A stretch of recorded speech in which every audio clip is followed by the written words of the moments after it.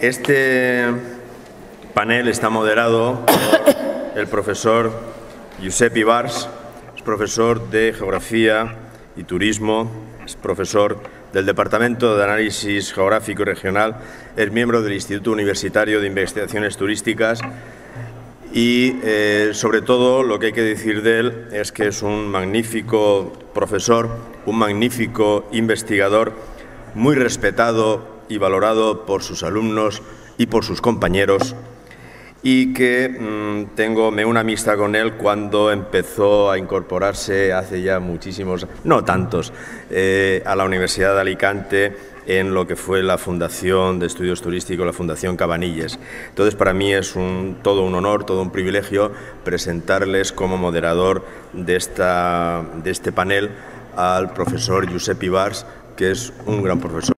Pero para que el hardware funcione tiene que haber un software. Y el software empieza por la estrategia, por la gestión, por el capital humano, por la capacidad de innovar, por la capacidad de emprender. Y de todo eso vamos a hablar. Un panel que yo creo que tiene tres magníficos eh, eh, especialistas, uno desde el punto de vista académico, Dimitrios Bujalis, la segunda interveniente, Maya Escobar, como representante de la Red Española de Ciudades Inteligentes, que están poniendo en marcha proyectos de una relevancia eh, enorme en el campo de, las disciplinas, digamos, SMART. Y por último, Aurkene Alzúa, que eh, desde Citurgune está eh, iniciando investigaciones pioneras en, todo lo que conocemos ahora como Smart Destinations. En primer lugar, voy a presentar a Dimitrios Bujalis. La idea es que cada ponente hable unos 15 minutos y que posteriormente podamos tener un debate entre todos. Lo que sí me interesaría de este panel es que mm, no diésemos la imagen de que el destino inteligente es el nuevo mantra que lo va a solucionar todo. Es un proyecto complejo, es un proyecto de destino inteligente, muy difícil de llevar a la práctica, con aportaciones interesantes que saldrán también, pero yo les pido a los ponentes que también digan dónde están las dificultades para que esto no sea, digamos, eh, el, mantra que va a resolver todos nuestros problemas y que realmente acabe generando unas expectativas que después no puede, no puede cumplir. Como decía, en, primer lugar interviene Dimitrios Bujalis. Dimitrios es director del e-Tourism Lab de la Universidad de, de Bournemouth actualmente. Ha sido, eh, es presidente de la Federación Internacional de Tecnologías de la Información en, Turismo, la, federación que organiza anualmente la conferencia Enter, probablemente una de las conferencias más prestigiosas del mundo desde el punto de vista de las TICs y el turismo, y que este año próximo, en 2015, se celebrará en, Lugano, en Suiza. Les eh, aconsejo que visiten la web de IFIT, que, puedan eh, disfrutar de todo el, bagaje de ponencias que reúnen estas, estas presentaciones. Es un investigador global del turismo como se define a sí mismo. Ahora está en Bournemouth, estuvo en Surrey, hace nada eh, en, Hong Kong, eh, en París, Jamaica. Es decir, responde a, la definición de académico eh, global. Y es una, voz muy autorizada en, todo el mundo en materia de TICS y turismo. De hecho, ha participado en diferentes paneles con la Organización Mundial de Turismo y con la Comisión Europea. Eh, Silvia nos va a ayudar con una traducción eh, consecutiva, es decir, eh, a medida que vaya hablando el profesor Bujalis va a ir traduciendo, tarea nada fácil, pero que vamos a intentar llevar de la mejor manera posible. Dimitrios, adelante. Hola, buenos días. Have I got microphone? Hola, buenos días. Perfecto. No, I've got this. Uh, great pleasure to be back in Benidorm after almost 20 years. Uh, when Joseph used to work in uh, Fundación Cavalines, um, he invited me in 96. Um, since then, time has gone. Uh, we've gone a little bit gray, but we're still back.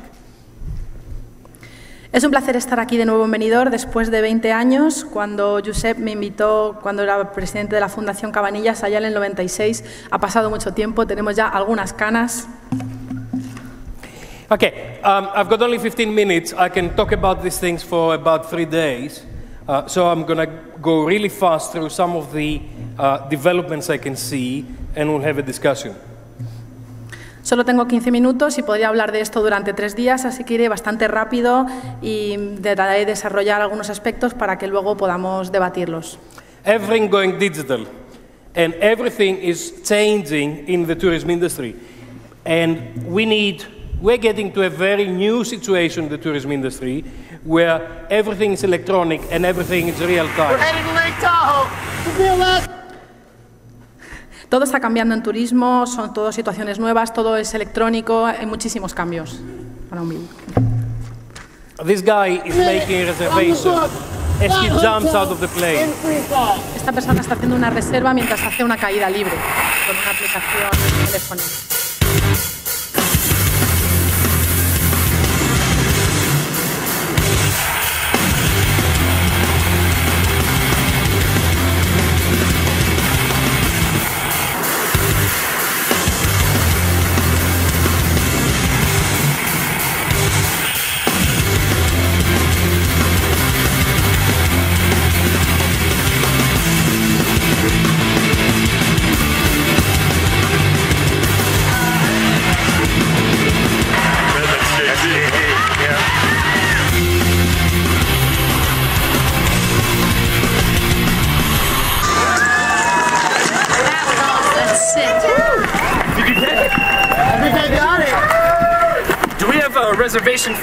JT Holmes, please? Woo! Landing was a bit of a doozy. Hold, please. Let me check our system. Yes, I have a reservation for a Mr. Oh. Holmes. You got it. No way, we got it. Oh. Yeah. Stuck that. I nailed it. Okay, let's try a little quiz here. How many people have booked a hotel in the, in the last year?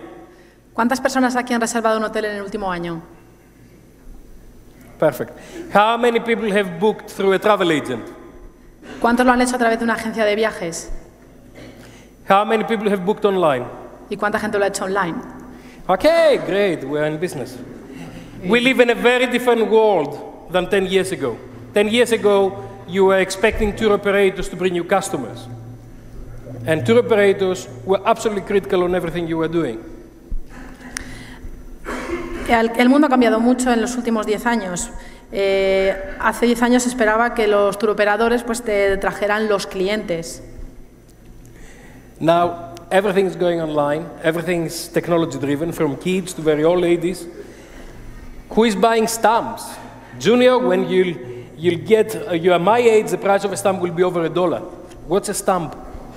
Everything's changing. When is the last time you went to the post office? When is the last time you went to the bank? And the way that people are experiencing tourism is very, very different. This is the Mona Lisa in Louvre. In fact, nobody's looking at the Mona Lisa. They're looking at their mobile phones as they're taking the picture. Ahora todo se hace online. Eh, por ejemplo, nadie compra sellos ya, como en la viñeta que veíamos que decía, cuando tengas mi edad, el- un sello valdrá un dólar. Y dice el niño, ¿qué es un sello? Porque ahora to- todo es diferente. ¿Cuántos de vosotros habéis ido últimamente a correos, por ejemplo? Eh, todo se mm, cambia, el turismo hay expectativas diferentes. Por ejemplo, ahí en el Museo del Louvre estaban viendo los turistas la Mona Lisa, en realidad no están mirando al cuadro, están todos mirando el móvil mientras hacen la foto. Everything that's happening is happening on real time and it's happening in a physical presence where people are speaking to each other, but at the same time, it happens electronically on the global uh, basis um, um, on the internet. Todo ocurre en tiempo real, con una presencia física, la gente habla entre sí, pero al mismo tiempo todo ocurre también de forma global en Internet. How many people have bought a newspaper in the last week? ¿Cuánta gente ha comprado el periódico en la última semana? We need to talk to you, okay? How many people have checked their Facebook this morning? ¿Cuánta gente ha mirado su Facebook esta mañana? How many people have taken a picture of me on stage and say this is the best presentation I've ever heard? ¿Cuánta gente ha hecho una foto de él haciendo la presentación y ha puesto esta es la mejor presentación que he escuchado? If not, it's about time to do. Um, this is when the Malaysian airline, uh, Malaysian 370 disappeared. One million people were talking about the Malaysian Airlines flight using the hashtag on Twitter alone. And you can see what happened afterwards. So, for everything that is happening, there is an online conversation that is happening simultaneously um, when things are happening both online and offline. Esto es, por ejemplo, una gráfica de lo que ocurrió cuando desapareció el, el vuelo de Malaysian Airlines 370. Había un millón de personas hablando sobre ello con el mismo hashtag. eh, y es lo que ocurre, que las cosas ocurren eh, de forma simultánea, tanto online como offline. Last week I was in Tibex in Athens. Tibex is the, the bloggers event. And we had 800 people in Athens taking uh, pictures in Greece and videos and, and a lot of different places and uploading this stuff simultaneously. So what happened is that we generated 14 million dollars worth of public relations in three days by bringing 800 people in one place and let them storify the place.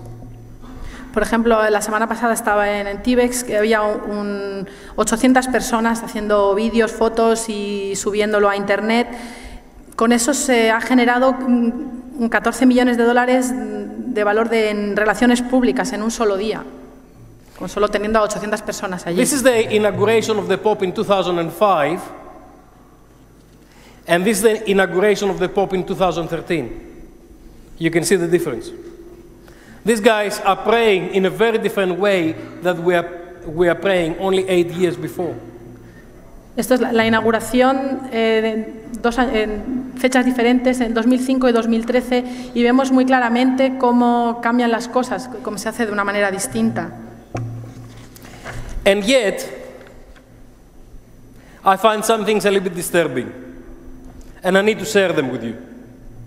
First of all, in a forum of tourism, we should not be translating. Y hay cosas que, que son preocupantes, porque en un foro de turismo no debería haber interpretación, que no se in, tenga a, que traducir. in a venue like that, there's no way that there's no Wi-Fi. Y we cannot un, talk about intelligence without that. y en un lugar como este no es concebible que no haya wifi, por ejemplo. And everybody, everywhere I go, they tell me that this is a smart destination, and I'm going everywhere. Uh, I was in China, everywhere in China they are talking about smart destination. I haven't found anybody who says I'm a stupid destination. Do you know a stupid destination? Ahora todo el mundo habla de los destinos inteligentes y ha estado, por ejemplo, en China, en todos sitios hablan de destinos inteligentes. ¿Es que hemos oído hablar de algún destino que diga que es un destino estúpido? And then nowhere I can have breakfast after 10 o'clock. Y luego en ningún sitio puede tomar el desayuno después de las 10 de la mañana. Because in all these clever destinations, smart destinations, they stop, finish, they stop uh, uh, serving breakfast at 10 o'clock. They are trying to charge me 20 euros or whatever for Wi Fi per hour. And then they tell me that they're intelligent. Hello? Y claro, en estos destinos dejan de dar el desayuno a las 10 de la mañana, te cobran 20 euros por la wifi por hora y luego quieren decirle que es un destino inteligente. Hombre, ya. So we need to start thinking about these things before we make a lot of claims that we're a smart place, a smart destination. We really need to be smart before we start claiming that we are smart.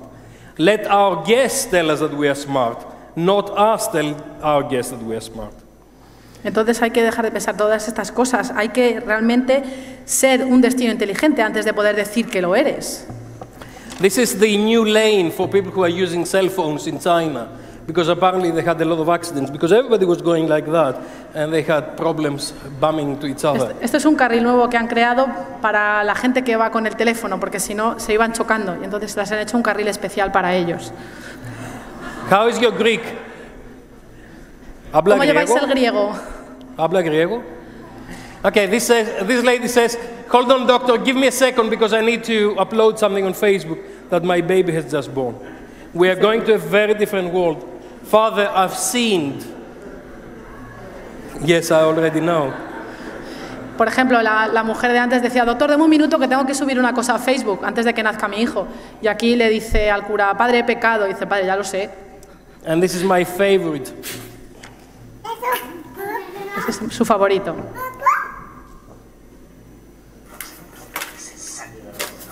Dice, este no funciona. This is the analog economy, it doesn't work. Y este tampoco funciona. We think that we are very clever.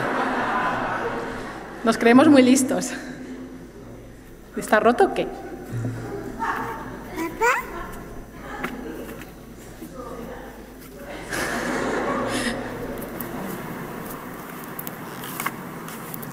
You get the point. Os hacéis una idea, ¿no? And th- this is my favorite thing, where she's checking her finger if, if, her, if her finger works, because she cannot imagine that this damn thing is so analog, doesn't work. Y ahí intenta darle con el dedo, pero no se puede creer que no funcione. Okay, you understand where the world is going, and the world is going very fast there.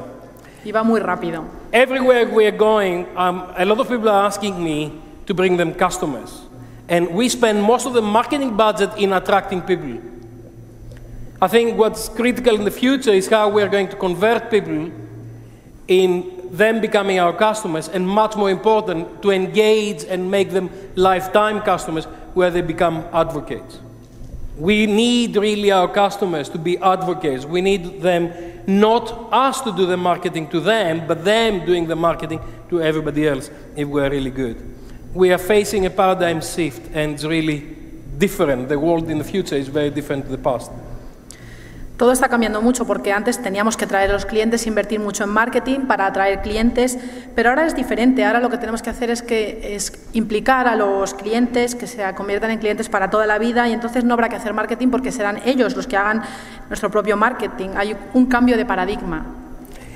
So we have a paradigm shift and we are going to change our environment, provided we can have um, Wi-Fi and some technology around. We are going to change everything around. Everything will be manageable. And if you want to speak to your sister who happens to be somewhere else, watch television anytime you want, or go to the beach, or go to Paris, or play with your cousin in, in Tokyo, all of those things will be instantly available to us because we'll be able to use our technology to manage our environment. Como decimos, habrá un cambio de paradigma porque con los nuevos sistemas, pues si- siempre y cuando podemos cambiar nuestro entorno, siempre y cuando haya wifi, porque todo cambia. Podemos hablar con nuestra hermana, ver la televisión, ir a la playa o estar en París o jugar con nuestro primo en Tokio. Todo estará disponible al instante gracias a la tecnología. What's going to happen is that what we call um, customer centricity, the customer is right in the middle. They've got all this equipment around. Everything's connected through what we call the Internet of Things or machine to machine. And what's going to happen is that um, all our machines will talk to each other and they'll know our preference. They'll use all kind of networks to do all kind of applications anywhere, any device, anytime. Como vemos aquí está el cliente en medio con todo ese equipamiento que está conectado totalmente, podemos hablar unos con otros, todo a través de redes, mediante aplicaciones y todo totalmente conectado pues unos con otros. And what we'll have is what we call Solomo or Socomo marketing, which is bl- blending together social media, location or context-based and mobile marketing. So we know where you are, we know who you are, and we'll provide the right information, the right offer, the right product to you dynamically and customizably at the time and at the place where you are. Tenemos lo que es el Solomo, que se basa en eso, que es eh, social, adaptado al contexto y móvil para tener en cuenta pues, cómo es cada uno, la dar la información adecuada, eh, personalizada en el momento y en el lugar en el que se encuentre cada uno. And this is what we call the conversation prism, where you see all these different areas of social media and areas of technology where you have got information, and all those things will be blending together to influence the brand, to influence you right in the middle.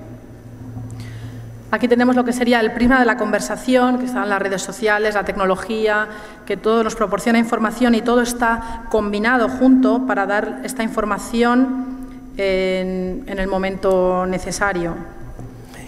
I think when you look into the future, what's going to happen is technology will be invisible. We're talking about Google glasses. Now we start talking about Google lenses, contact lenses, where technology will be wearable and invisible. We're going to look about, to, to, we'll, we'll use intelligent applications. We'll have augmentation of all senses, including smell, and we'll have natural gestures where we'll talk to the machine, and the machine will do things that we need. Aquí lo que tendremos para el futuro será la tecnología invisible, cuando hablamos, por ejemplo, de las Google Lens y todo eso, también habrá aplicaciones inteligentes, aumento de todos los sentidos y también los gestos naturales. Um, before I go to this, I think a lot of people are looking into, they talk about smartness and smart.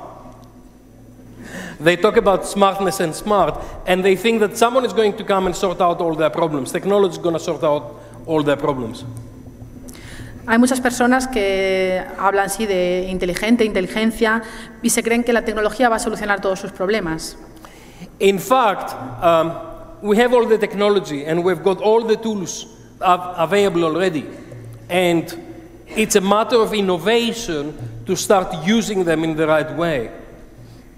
De hecho, ya tenemos toda la tecnología, todas las aplicaciones ya están disponibles, las herramientas. Lo que tenemos que aprender ahora, la innovación, es aprender a usarlas correctamente.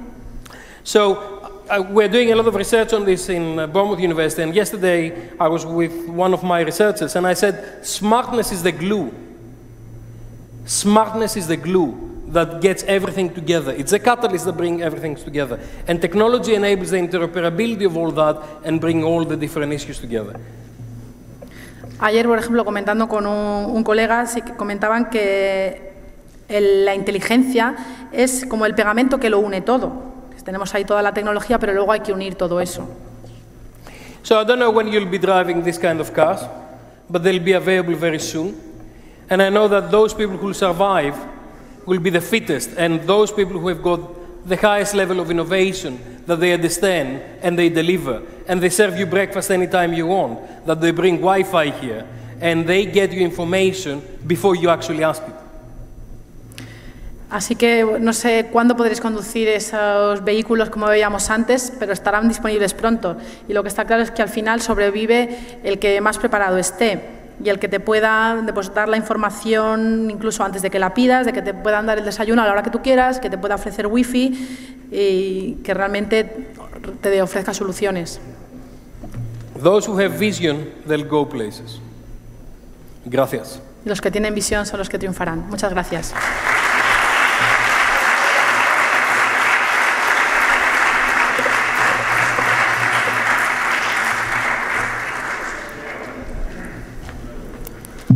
Muchas gracias, profesor Bujalis, por ajustarse al, al- al tiempo y plantear esta interesante eh, exposición.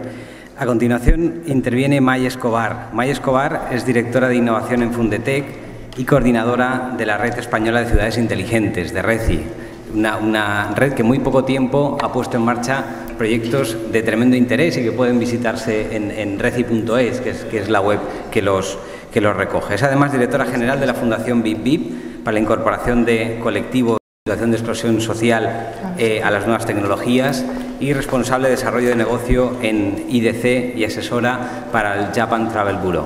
Buenos días, muchísimas gracias en primer lugar por haberme invitado a este foro.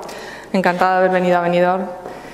Eh, voy a intentar explicar un poco qué es el trabajo que está llevando a cabo la Red Española de Ciudades Inteligentes. Y además en este foro, que veo que hay tanta gente joven, voy a especificar un poquito más y hablar sobre un proyecto concreto que estamos llevando a cabo, eh, que tiene que ver con el emprendimiento en las ciudades. Eh, la verdad es que eh, tengo que decir que en este momento, donde la situación política es tan convulsa y donde el, el ámbito político pues, eh, tiene bastantes eh, problemas, eh, soy afortunada porque estoy desarrollando un proyecto en el cual intervienen eh, ciudades, en el cual te- intervienen ayuntamientos y que la verdad está cambiando la, forma de, hacer las cosas. Eh, la Red Española de Ciudades Inteligentes nació hace tres años. Eh, eh, pretendía un grupo de ayuntamientos enfocar la forma de ver la ciudad hacia un concepto de Smart City. Y lo que plantearon en un momento donde realmente hay una serie de dificultades impresionantes dentro de las arcas municipales de la mayor parte de los ayuntamientos, ir hacia un modelo en el cual se pudiese compartir el trabajo de los ayuntamientos.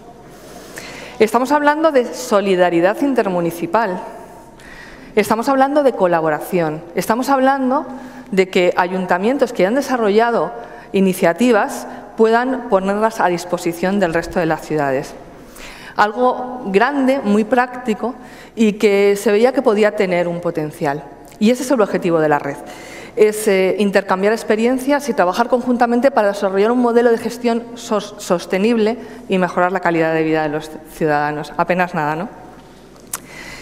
En este momento, eh, la red se firmó el acta de constitución en el año 2012 en Valladolid, eh, en junio, eh, con 25 ciudades. En este momento son 54 las ciudades que forman parte de la red. Como veréis, está creciendo de una manera bastante, bastante rápida. Y ahora veréis un poco también el porqué de este crecimiento. Eh, hay dos ámbitos de actuación dentro de la red. Por una parte está el ámbito político, liderado por Íñigo de la Serna, el Ayuntamiento de, de Santander. Posteriormente ha sido nombrado presidente de la FEM. Supongo que algo tendrá que ver también esta- con esta iniciativa, donde eh, se aprueban aquellos trabajos que se han realizado en el ámbito técnico. ¿Qué quiero decir con esto? Normalmente las redes de ciudades son políticas y quedan en un ámbito bastante eh, elevado. Aquí la red lo que trabaja es de abajo hacia arriba. Y de alguna manera ese es el valor, el valor que tiene. Eh, tenemos eh, un montón de, formas de, de trabajo, pero la fundamental, desde aquí no puedo apuntar, es eh, las 58 reuniones que en estos dos años hemos tenido ya de los grupos de trabajo. Ahora veréis cómo están distribuidos los grupos de trabajo. Lo que se intenta es poner a disposición del resto de las ciudades no solamente aquellos eh, casos de éxito, sino también transferir la tecnología, aplicaciones, luego pondré también algún ejemplo, eh, como también los casos de fracaso. Es decir, que si nosotros en un ayuntamiento concreto han intentado poner en marcha un proyecto y no ha tenido los resultados esperados, contarlo al resto de las ciudades para que no vuelvan a caer en ese error. Ahí también hay un valor importante y que eso es difícil, que en otros ámbitos se ve, pero en el técnico es bastante fácil. Estos son los cinco grupos de trabajo. Innovación social, liderado, por la, ciudad de A Coruña. Dentro de este grupo se trabajan los temas de transparencia, se trabajan los temas de turismo, se trabajan los temas de accesibilidad, los temas de servicios sociales, eh, los temas vinculados a la comunicación que se hace hacia los ciudadanos de lo que es la Smart City. El grupo 2 trabaja los temas de energía, todo lo que tiene que ver con la eficiencia energética estarían de este- dentro de este grupo y está liderado por el Ayuntamiento de Murcia, aquí muy cerquita. Eh, en el grupo 3 trabajamos los temas de medio ambiente, de infraestructuras y habitabilidad urbana. Está coliderado por dos ciudades, por el Ayuntamiento de, Rivas y por el Ayuntamiento de Vitoria. Un grupo 4 de movilidad urbana, liderado por, también por dos ayuntamientos, el Ayuntamiento de Valladolid y de Burgos. Aquí se, trabajan todos los temas de transporte público, todos los planes de, de, eh, movilidad urbana, se trabajan también eh, los vehículos alternativos, la bicicleta, eh, se, trabaja el tema del vehículo eléctrico fundamentalmente y de cómo eh, intentar que los vehículos eléctricos puedan tener una mayor autonomía creando pasarelas, sobre todo hacia el norte, que es donde están desarrollando los proyectos pilotos, y que desde Madrid se pueda ir prácticamente hasta Vitoria, pudiendo recargar el, vehículo, el vehículo eléctrico. Además, generando estándares, que una ciudad a otra con el vehículo eléctrico se pueda ir y con una misma tarjeta se pueda, se pueda recargar el vehículo. Y por último, eh, Gobierno, Economía y Negocios, eh, liderado por el Ayuntamiento de Valencia. En este caso, por ejemplo, y en este, para poner un, un- ejemplo que es cercano, el Ayuntamiento de Valencia desarrolló una aplicación de en realidad aumentada y lo que hizo fue poner ese código a disposición del resto de las ciudades. Otra ciudad, Rivas, eh, cogió ese código e incorporó eh, su información, integró la información para desarrollar una aplicación eh, de una ruta verde dentro, dentro de la ciudad. ¿Qué quiere decir? Que realmente los ayuntamientos lo que se llevan de la red no solamente son papeles, sino también se pueden llevar aplicaciones que ha desarrollado otra ciudad para poderla implantar eh, en la suya. Y os estoy hablando de los ayuntamientos que el color político es, diferente. Aquí lo- los colores políticos no, no- no tienen ninguna importancia porque lo interesante es que todas las ciudades vayan alineadas para llegar cuanto antes a estos modelos de, de Smart City. Y así nos reunimos. Nos reunimos en el ordenador, lógicamente, porque sería imposible poder trabajar conjuntamente 58 ciudades con las situaciones económicas que tienen ahora mismo los ayuntamientos viajando constantemente. Nos reunimos en una plataforma virtual cedida por un ayuntamiento Y trabajamos y nos planteamos metas de una y trabajo entregas constantes de una sesión a otra, para que realmente sí que tengamos cosas hechas y que la gente vea que hay una necesidad en, estar trabajando con el resto de los, ayuntamientos. Aquí nos estábamos riendo porque casi siempre hay más hombres que mujeres y en esta ocasión eh, coincidió que había, éramos más mujeres las que estábamos en pantalla. Estábamos con la broma. Mira, la medición del impacto simplemente de estas 58 reuniones realizadas es que hemos ahorrado eh, aproximadamente lo que serían cuatro años de jornada laboral de un funcionario en los traslados que hemos, tenido, que hemos evitado y un impacto ambiental de un ahorro de 130 toneladas de CO2, además de 285.000 euros de, ahorro de verdad económico. Pensamos que, la forma de trabajo a partir de ahora tiene que ser cada vez más esta y practicar, o sea, y, practicar el ejemplo ¿no? en, la, en la red. En definitiva, ¿qué es lo que hacemos dentro de la red? Transferencia de tecnología y desarrollos intermunicipales, transferencia de documentación jurídica administrativa y puesta en común de ordenanzas. Fijaros, en este momento se están redactando o se estaban redactando un montón de ordenanzas de transparencia en los diferentes ayuntamientos. ¿Qué es lo que hemos hecho? La primera ciudad, eh, Coruña, estaba desarrollando su propia ordenanza y lo que hizo fue aprovechar para hacer una guía normativa para que el resto de las ciudades lo pudiesen eh, aprovechar. De esa manera, si una tramitación podía durar meses, en este caso, pues en unas pocas semanas ya la podían tener, eh, en marcha. Transferencia de casos de éxito, eh, deficiencia presupuestaria, importantísimo en este momento, y la generación de protocolos y estándares para las ciudades, que es otra cosa que nos importa y que estamos trabajando en el Comité Técnico de, Normalización 178 junto con Sagitur, por ejemplo. Eso es un poco para que centrar eh, qué es lo que es eh, la Red Española de Ciudades Inteligentes. Hay algo que me parece también importante señalar. Se podemos hablar de ciudades, de smart cities, de ciudades inteligentes, de ciudades del futuro, de Mm, eh, ciudades digitales o, de ciudades eh, guays, da igual. Eh, el tema es qué es lo que queremos hacer, hacia dónde vamos, qué es lo que queremos. ayer discutíamos un poco en la cena y desde mi punto de vista la meta no es ser una Smart City, llegar y poner la bandera, ya, soy una Smart City. Para mí lo importante es el camino que tenemos que hacer siendo Smart. Porque además eh, la tecnología avanza tan rápido, seguro que hoy están sacando un montón de, cosas eh, que, van a cambiar nuestra vida eh, dentro de un año, de dos años, y que lo que tenemos que intentar es hacer ciudades que sean lo más flexibles posibles, lo más moldeables posibles para que puedan utilizar la tecnología en el momento en el que van a poder aprovechar al máximo. No esperar y ser eh, eh, los últimos de, la fila, sino intentar estar alineados con lo que está pasando en el mundo y con lo que está avanzando la tecnología para poderlo implantar rápidamente. Por eso debemos de tener ciudades flexibles y que puedan ir avanzando y el camino va a ser largo porque siempre la tecnología va a ir, va a ir también eh, avanzando.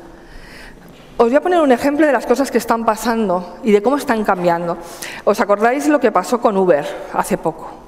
Hubo una, un gran revuelo, en toda Europa hubo una manifestación, yo creo que era la primera vez que hubo una huelga de taxistas a nivel europeo, donde se pusieron todos de acuerdo porque estaban en contra de una aplicación móvil que lo que hacía era compartir el vehículo entre particulares.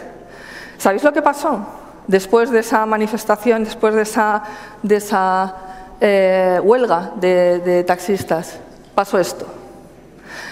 Hubo un 850% más de registros en la aplicación. Es decir, en este momento ya no valen ni siquiera las formas de intentar cambiar las cosas.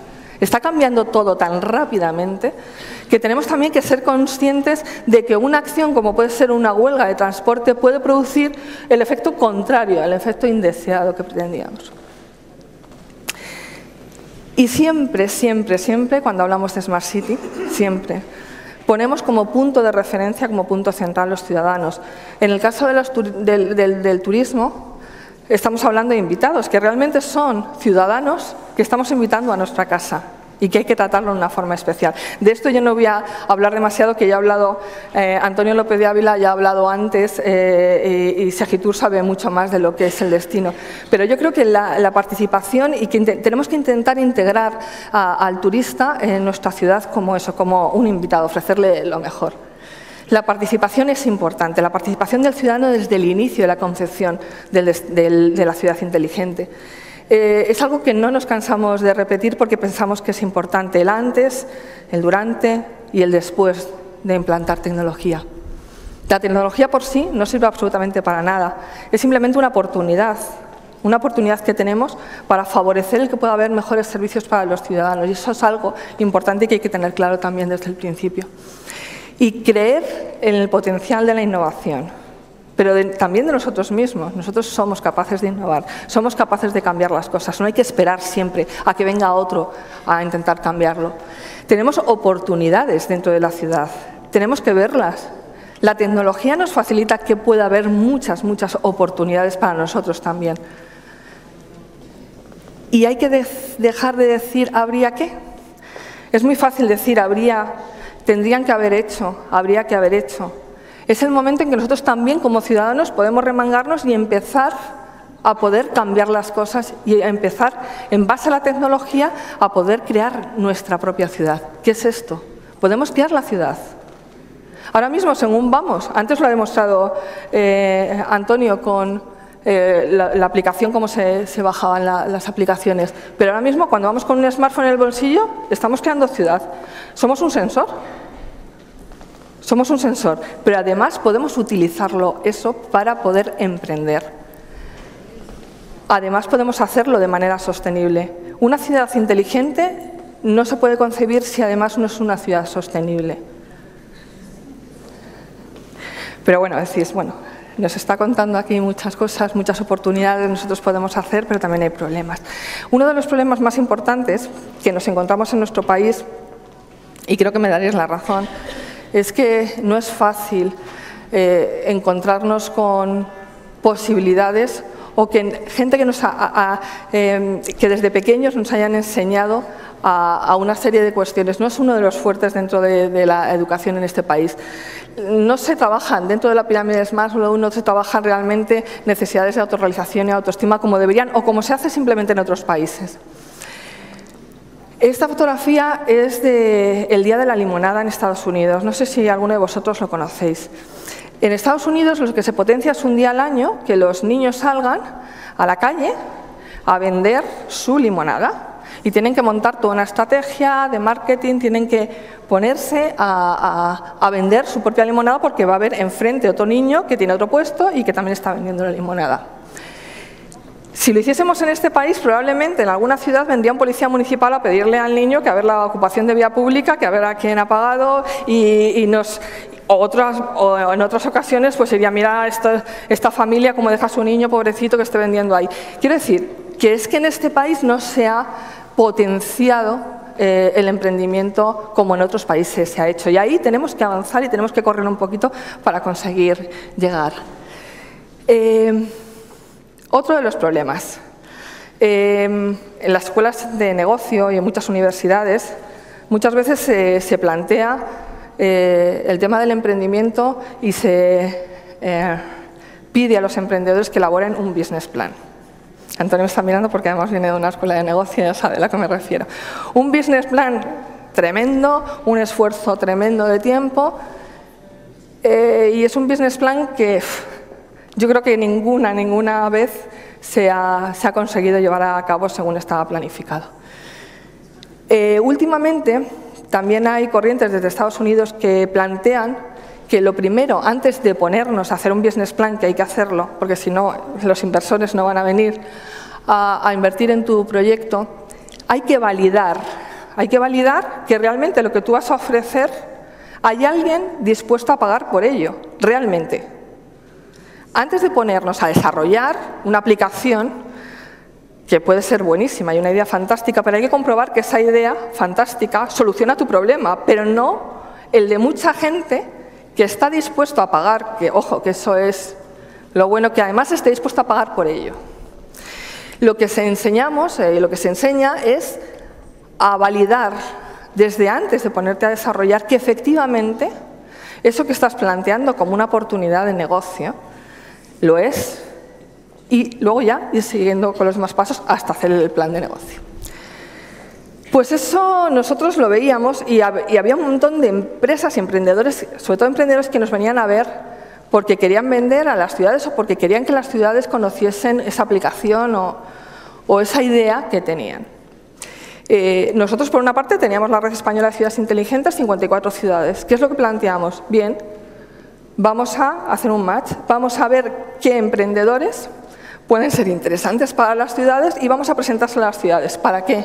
Para conseguir que las ciudades de la red se también se consiguiesen ser unos laboratorios urbanos. Y para eso creamos Startup for Cities. Startup for Cities eh, es un evento que comenzó siendo un evento, el pasado 10 de junio se celebró en Madrid, este era el aspecto que tenía el, el auditorio, y lo que pretendíamos era que las ciudades, que los emprendedores presentasen su pitch, en vez de ante los inversores, ante las ciudades, y que las ciudades, veis abajo que hay unas tablets, votasen cuáles de esos proyectos emprendedores ellas querrían llevárselo a su ciudad para hacer un piloto y para ver cómo funciona y para saber si realmente esa necesidad existe y si el proyecto del emprendedor es realmente acertado. Ayudarles de esa manera. Luego ya vendrá el plan de negocio, luego ya vendrá la inversión, por ejemplo, Emprendetur. Quiero decir que lo que teníamos era la posibilidad de hacer una experiencia pionera en el mundo para ofrecer a esos emprendedores las ciudades como laboratorio. La verdad es que eh, la- la experiencia fue muy interesante y me gustaría comentaros rápidamente, no sé cómo voy de tiempo, si me estoy pasando o no, muy, vale, muy rápidamente algunos de los proyectos que se presentaron. Este es Ride State, es una aplicación que eh, lo que hace es un, juego, es un juego, se va conquistando la ciudad en base a, con la bicicleta y se va haciendo un recorrido de toda la ciudad. Se va mapeando y el reto está en ir conquistando cuantas más zonas de la, de la ciudad mejor. ¿Qué es lo que pasa? Su modelo de negocio está basado en la publicidad. No, la ciudad, no es la ciudad la que paga por ello, pero todos los datos que tiene de los ciclistas para la ciudad es es súper potente, sabe cuáles son las rutas preferidas por los ciclistas, dónde puede haber bache, dónde ellos piensan tienen un carril bici, pero los ciclistas van por el otro lado. Hay una información súper valiosa. ¿Qué es lo que ofrecía este, eh, este emprendedor? A los ayuntamientos les ofrecía la información de lo que pasaba con los ciclistas y a los ayuntamientos lo que les pedía es difusión de, de- su juego. Ya están tres o cuatro ciudades, eh, lo están poniendo en marcha. Eh, Lucía tienen un proyecto que se llama City Maps eh, y lo que trata es, un Google, un, un Google Maps para las personas con discapacidad. Eh, Ya sabéis que las rutas en la ciudad, en, en Benidorm, no, no hay tanto ese problema, todo lo contrario, porque es una de las ciudades más accesibles las que me he encontrado, pero eh, en muchas ciudades las rutas tienen que ser planificadas por una persona con discapacidad con bastante tiempo. Ellos lo que hacen es que lo solucionan eh, el problema. Bueno, este es un tema de eficiencia energética, un tema de, de cómo controla el ayuntamiento por detrás todas las incidencias urbanas. Con las Glass también estaban, eh, estuvieron haciendo eh, un, proyecto donde las incidencias, en vez de mandar a varios equipos hasta saber a quién correspondía dentro del departamento de, obras de los ayuntamientos, hacen un reportaje y directamente se manda toda, toda la información.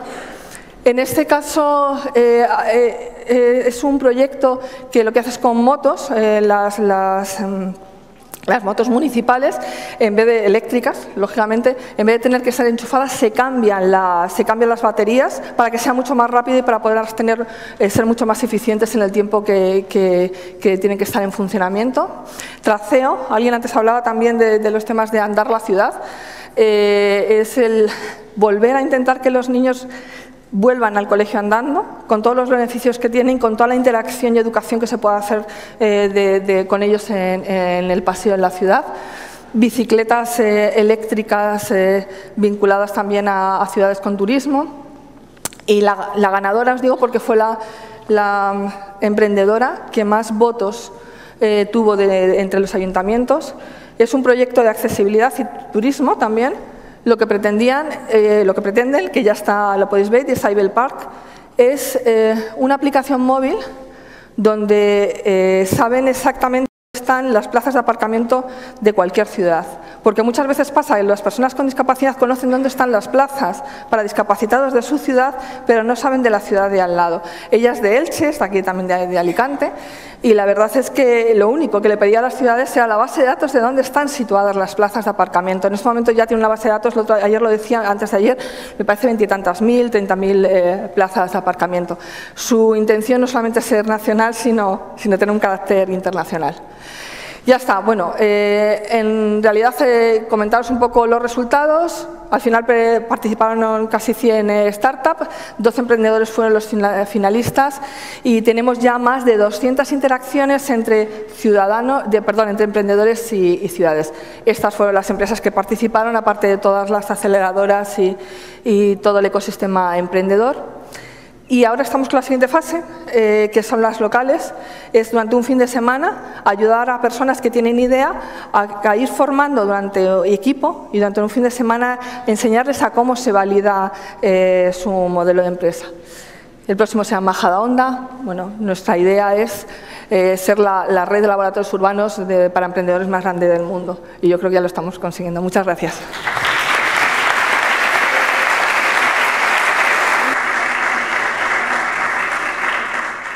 Buenos días, casi terminando ¿no? la recta de esta, de esta mañana. Voy a aprovechar eh, que antes he hecho una mención a Enter y como es de esta conferencia. Muchas gracias eh, por, la, por, haberla introducido, haberla presentado. Para todos aquellos que no sepáis qué es Enter, por favor, ir, entrar en su página enter.org, vais a o Enter 2015, vais a poder encontrar muchísima información. Es una gran conferencia en la que también se encuentran mmm, estudiantes, el mundo académico, pero sobre todo también grandes pioneros en lo que es eh, la actualidad tecnológica en turismo, la industria y los destinos. Creo que es una gran conferencia eh, y que además en el 2016 viene España. Viene España y va a tener lugar en Bilbao. Con lo cual, eh, muchas gracias. Así aprovecho un poquito la cuña de publicidad, si me permitís. Muy bien, bueno, pues vamos a empezar. Creo que conmigo vamos a tener que hacer un vuelta atrás y quizá vuelta hacia adelante. Va a ser como un viaje este panel, casi, casi. Creo que el profesor Bujalis nos ha dado la oportunidad de, de empezar a viajar en las grandes tendencias, esas tan tecnológicas que conocemos todos. Pero ¿cómo está la tecnología cambiando nuestros valores? Nuestro estilo de vida. Eso es algo muy importante para el turismo. Porque no es una cuestión solo de que utilice el teléfono, pero cómo impacta el teléfono en mis valores, en mi cotidianidad. Todos esos sensores que se están comunicando entre ellos, con las personas, cómo cambian mi forma de aprender, de gestionar mi frigorífico, muy importante, ¿no? Llego a casa, abro el frigorífico y me encuentro con sorpresa. Bien, o el propio territorio. Podremos pensar un poquito en cómo ha empezado a cambiar ese estilo de vida que tengo yo. Por ejemplo, la alimentación. Ahora han cambiado algunos valores. La tecnología me permite tracear desde el origen al plato, pero esta aplicación tecnológica ha cambiado una serie de valores sobre cuán o no importante es lo que como. ¿Qué buscan? ¿Calidad, naturaleza o comida rápida y barata? Cada vez la belleza es más importante, ¿no? Sabemos que estar guapos, estar tan guapas, tiene que ver con lo que también metemos en nuestro cuerpo. Decir también que con un panel tan joven, ¿verdad? Siempre están guapos. Pero en cualquier caso, ¿no? sabemos que es súper importante. ¿Está cambiando mis valores, mi estilo de vida? Esto es algo importante. Vamos al turismo. ¿Va a impactar esto en cómo desarrollo la oferta gastronómica en mi ciudad, en mi posicionamiento? Porque vamos, vamos a ir después a aplicarlo al caso venidor, al caso de España, por ejemplo, kilómetro cero. ¿Saben qué es kilómetro cero? La cocina kilómetro cero. restaurantes que empiezan a dar cocina kilómetro cero. ¿Qué quiere decir? ¿Qué piensan que quiere decir kilómetro cero? Pues que ponen en el plato aquello que está a un radio cero, de kilómetro cero, quiere decir cercano, comida local, producto local. Es un concepto completamente diferente y para los destinos turísticos, las islas, importantísimo. Poder impulsar una industria, una restauración basada en la propia producción, no en la importación. Cambia completamente el modelo de negocio. ¿eh? Entonces, oh, vamos a ver a la persona, ¿nos está cambiando la tecnología la vida? Nuestra forma de hacer cosas, queremos monitorizarnos. Ahora queremos saber cuánto he corrido. El señor Antonio, yo sé que corre, ¿no? Y cada vez medio maratones. Ahora va a salir con su chip y se va a monitorizar. Y además el iPhone me pone todas las monitorizaciones fisiométricas para que yo pueda ir sabiendo cómo va mi corazón, etcétera, etcétera. Quiero llevar una camiseta que sea inteligente. ¿Cuántos de ustedes tienen algún artículo de este tipo? Bien, bien, ¿alguna? ¿Corres maratones o medias maratones? Un poquito, ¿no? O tenemos ya las nuevas aplicaciones, marketing, ASICS. Nos deja una plataforma para empezar a incorporar todos los datos, tenemos un coach que nos ayuda. Es decir, no es solo un cambio tecnológico, es un cambio de valores, de estilo de vida. Y eso vamos a tener que ir incorporándolo poco a poco en la forma de pensar sobre turismo. Por supuesto, todas las, todas las aplicaciones, todos los gadgets y el teléfono, no se ha hecho mención. Una de cada siete personas en el mundo tiene un smartphone. Seguramente el 99% de las personas en esta sala tienen smartphone. Pero sabemos, por ejemplo, que a través de ese smartphone o por impacto de Internet las personas cambian. Se ha hecho también mucha mención e hincapié por el profesor Bujales sobre real time. ¿Por qué el real time es tan importante? Porque vamos a cambiar quizá dependiendo de una aplicación, dependiendo del día del humor, ese teléfono me va a permitir, no, mira, no me voy de marcha a Alicante, hoy voy a salir, voy a decir una barbaridad, Edaimus. No, voy a ir a otro sitio. Y eso lo puedo hacer en tiempo real. Pero eso es una cosa y otra cosa es la planificación. Pero sin ninguna duda, cuando miramos a las ciudades inteligentes, a esas que van desarrollando todas esas plataformas que me van a permitir generar un conocimiento, ¿para qué? Pues tiene que ser para impulsar una convivencia, una forma de hacer, una forma de acoger completamente diferente. Nosotros empezamos, Smart Destination empieza sobre esta plataforma. ¿Por qué quiero tener todos los sensores medioambientales? ¿Hay algún valor que ha cambiado? ¿Hay algo en el estilo de vida de las personas que ha cambiado? ¿Que hace que esa información sea relevante para un visitante? Estamos hablando continuamente de ciudades. ¿Por qué las ciudades se han convertido en algo tan importante? En el año 2000 teníamos 365 ciudades con más de un millón de habitantes. A año 2025 esto se va a duplicar. Las personas, el mundo está concentrado en entornos metropolitanos. Entonces, cuando nosotros nos posicionemos como una ciudad turística, ¿qué vamos a aportar de valor añadido? ¿O qué vamos a aportar a esos estilos de vida, a esos valores que ya vienen con unas formas de vivir, de comer, a ese nuevo esquema de valores. Y creo que es lo que no, estamos haciendo totalmente. Definitivamente, y como ya sabía que tenía yo un antecedente, simplemente resumo. Emerge un nuevo mundo, sin ninguna duda, ya lo hemos visto, una presentación fenomenal, más inteligente, espero. Dimitris, tú me dirás. Convergencia de lo ciber, de lo social y ese mundo físico, pero eso nos reta. Nos reta atender a, pensar cómo van a ser los nuevos negocios, cómo tiene que ser la planificación territorial, qué necesitamos, qué estrategias de sostenibilidad se requiere. Ustedes respondan a esta pregunta. Si van a una ciudad que tiene una aplicación, ¿caminarían por aquella ruta que es menos contaminante? ¿Están preocupados por el grado de CO2 que inhalan? ¿O les da lo mismo?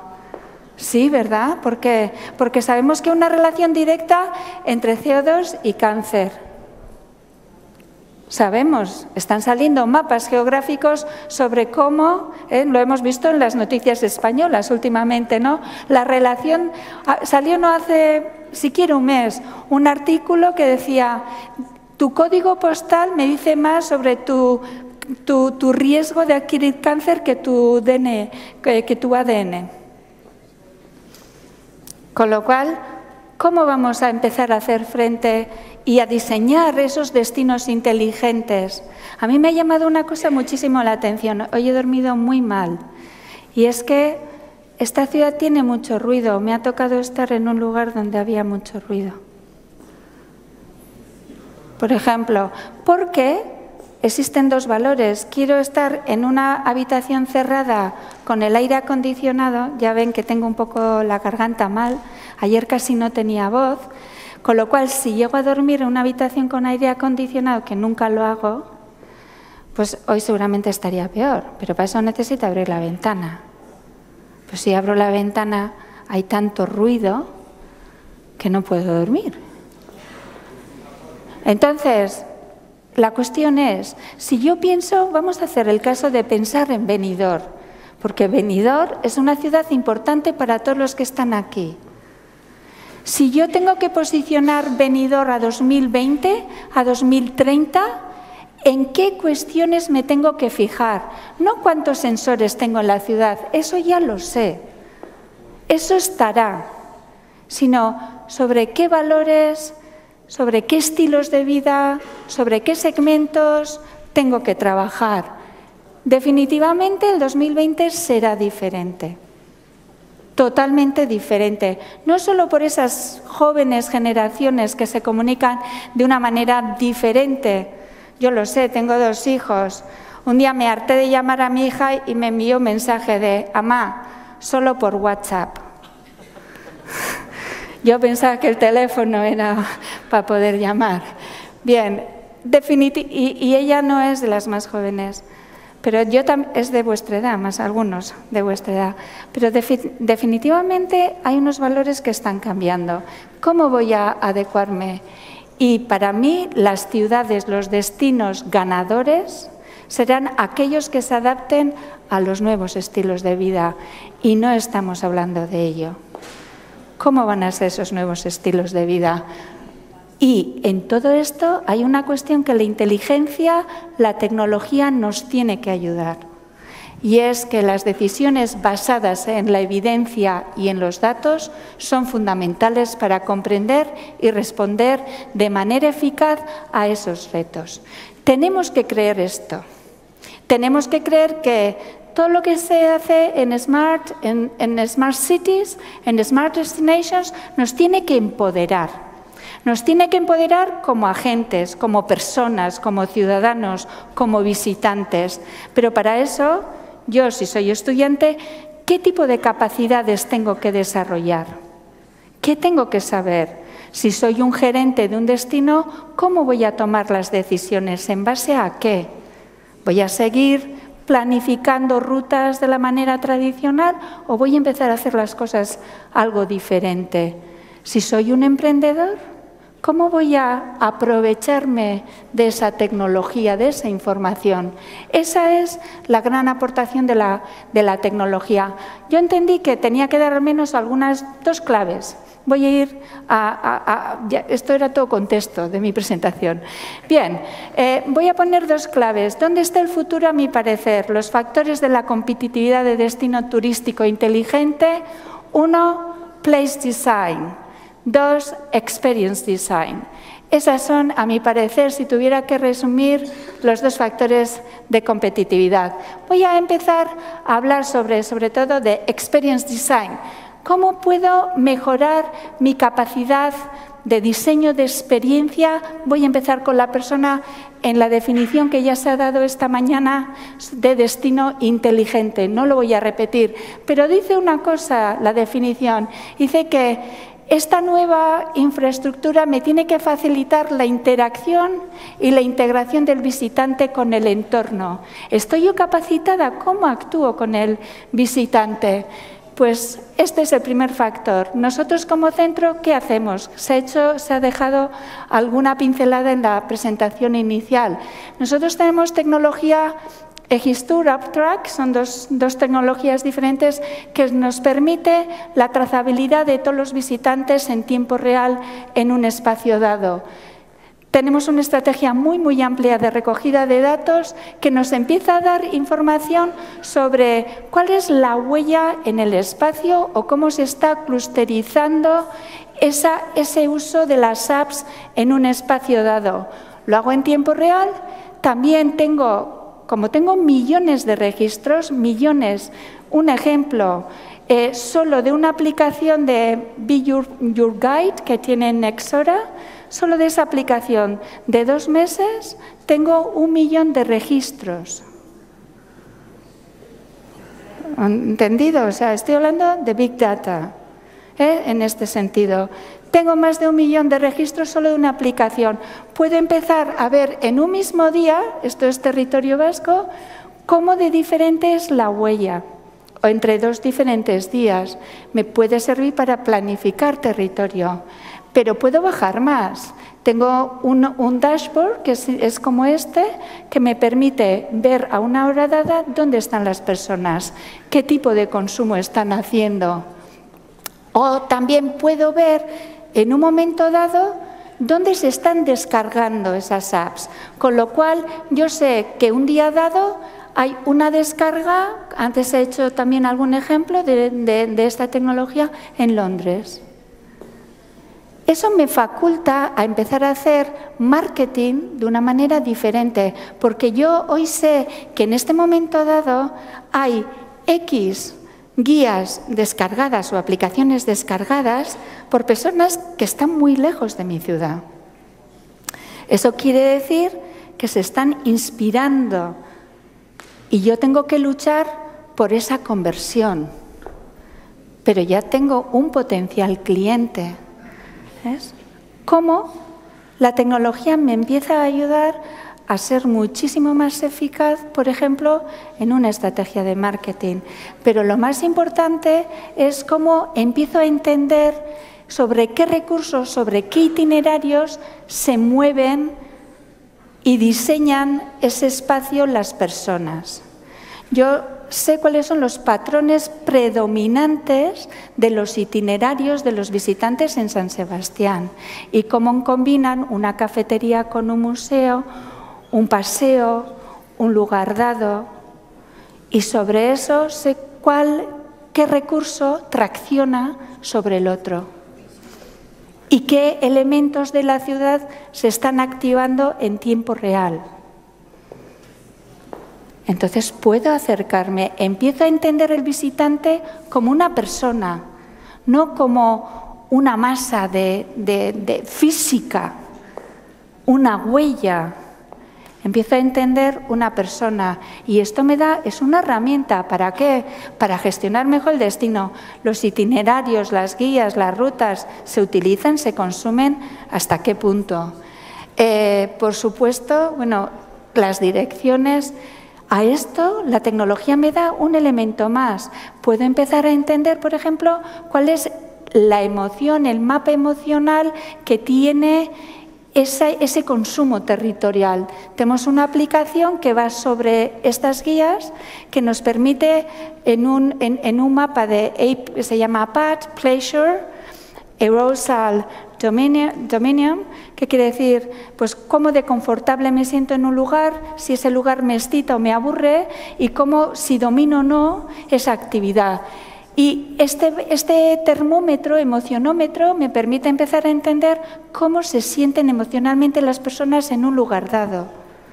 Porque yo, no olvidemos cuál es la premisa del principio, yo, venidor, tengo que competir con miles de ciudades de mi tamaño.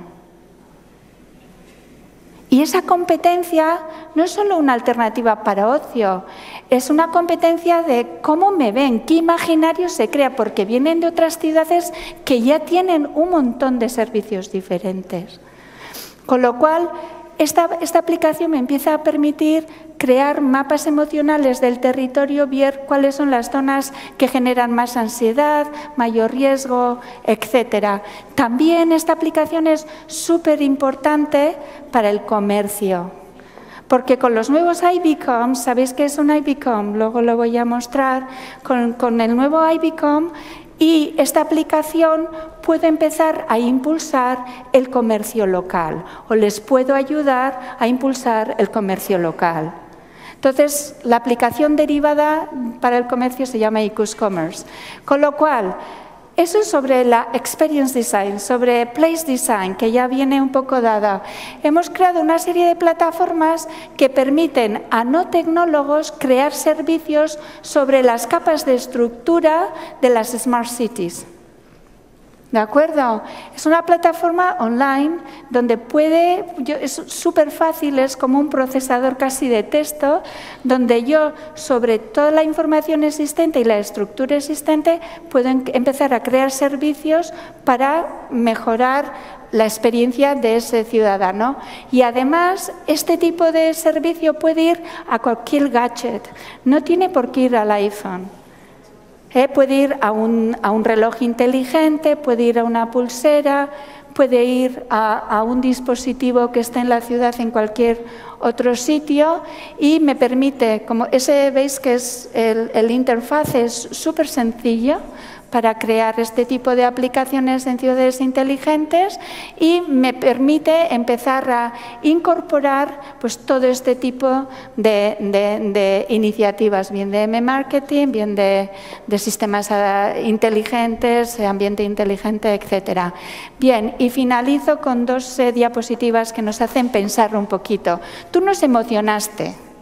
¿Eh? Él no se emocionó, muy importante. Yo os tengo que hacer pensar un poco. Con lo cual, yo creo que lo importante es conocer nuestras necesidades, lo primero, y pensar si estamos haciendo un uso inteligente de la tecnología o no. Porque la tecnología, como ya se ha dicho, no es la solución, es el medio. Pero es lo primero que tenemos que comprender. Yo creo que más que hablar de destino inteligente, que sí, tenemos que hablar de comunidades inteligentes, de sociedades inteligentes, porque a mi parecer es un instrumento y debe ser un instrumento para la convivencia. Me, ha dicho el profesor Bujalis que mañana se va o la semana que viene a Jamaica. Yo estuve en Jamaica no hace mucho. ¿Cuál es el eslogan turístico de Jamaica? ¿Qué persigue Jamaica? Tú no lo digas, no te permito. ¿Nadie lo sabe? ¿Eh? ¿Pero cuál es? No. No. No, se dice, meet the people. Meet the people. Su, su campaña es Meet the people. ¿Por qué? Porque Jamaica tiene un modelo de destino no inteligente no inclusivo, está turoperado y si uno va a Jamaica no puede encontrarse con la gente. ¿Y por qué queremos ir a Jamaica? ¿Con qué asociamos? No, clarísimo, ¿no? Riri, tal. Pero tú quieres conocer a la gente, pero tú estás en el resort. ¿Pero cómo es esto? Y lo que ven es que tienen la gran oportunidad, pero no pueden hacer ese puente tan fácilmente. Definitivamente, destino inteligente tiene que ser un medio para convivir, para generar mayor bienestar. Bueno, muchísimas gracias.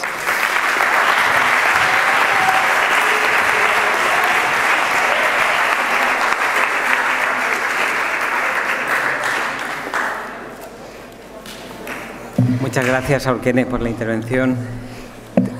Pues ha llegado el momento del debate. Tenemos eh, casi bueno, unos 10-12 minutos para, para, debatir, así que quien quiere intervenir para expresar su opinión, hacer alguna pregunta a los panelistas, ahora es el momento. Ya está, ¿verdad?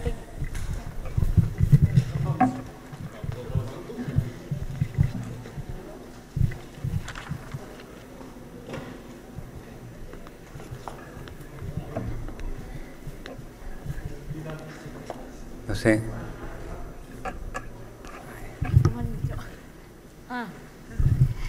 Eh, buenos días a todos. Yo quería saber qué grado de implantación eh, o qué grado de interés tienen los organismos públicos para implantar las tecnologías. ¿Cómo se están implicando los organismos públicos y, en cuánto tiempo prevéis vosotros que se implantarán, dado la, casuística que hay, dado la situación económica?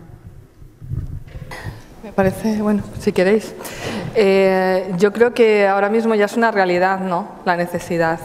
Eh, eh, los organismos públicos, por lo menos ayuntamientos, que son los que más conozco yo, hay una apuesta definitiva. Otro tema diferente es los problemas que eso puede incorporar en las estructuras municipales. Me explico. las estructuras municipales en este momento tienen más que ver con el siglo XIX que con el siglo XXI. Entonces, eh, son muy verticales. Las concejalías, mi concejalía, mi área de control, la tecnología lo que hace es cruzar todas las áreas. Eh, todos los datos, al final, eh, van a ser muy transversales. Y eso sí que genera eh, ciertas dificultades a la hora de que en los organigramas municipales eh, se comprenda cuál es la importancia que, y la oportunidad que ofrece la tecnología para que su propio servicio, su vertical, sea mucho más eficiente. Entonces, eh, la gente joven ¿no? eh, dentro de los ayuntamientos pues a lo mejor lo, comprende o lo interioriza más fácilmente, pero hay un reto importante también, el cambio cultural dentro de las propias organizaciones eh, y administraciones públicas. De todas formas, eh, mañana creo que tendréis la, la, posibilidad de escuchar a Pablo Sánchez y ya también hablará del tema, pero vamos, eso es un reto que hay en este momento. Y los ayuntamientos eh, eh, están apostando por ello y además hay, hay, una oportunidad porque al hacer más eficiente el ayuntamiento también hace que los servicios sean mucho más baratos. Y hay también otra oportunidad que es de la que hablaba, que los propios ciudadanos, en base a la tecnología, puedan generar servicios a los ciudadanos directamente y que los ayuntamientos lo único que hagan es facilitar esos servicios, donde el modelo de negocio no está en que pague el ayuntamiento, sino que directamente el ciudadano emprendedor le pague el otro ciudadano, que puede ser turista o no ser un ciudadano, ese servicio. Entonces estamos asistiendo a un modelo diferente de administración local, en la, la tecnología lo que, está, lo que está creando. No sé si queréis añadir algo más. No sé. Quizá que... ¿Quieres hablar un poquito? Sí. Have I got? I just want to, to say um, that most of the legislation and the most of the structures that you have in places around the world are becoming irrelevant. And that's why I show you the little video with the little, the little girl trying to play the, um, with the magazine. Because the public sector, the, the hotel industry, the tourism industry, are becoming irrelevant to the tourist needs. And that's why when you're looking into what is the fastest growing hotel company in the world, it's Airbnb. It's peer to peer. Partly because a lot of us who are in the tourism industry, we fail to understand the paradigm shift that's happening in the marketplace. And unless we do, we'll become irrelevant. Public sector, private sector, everybody out there. Public sector is probably worse than others. Mm-hmm. Sí.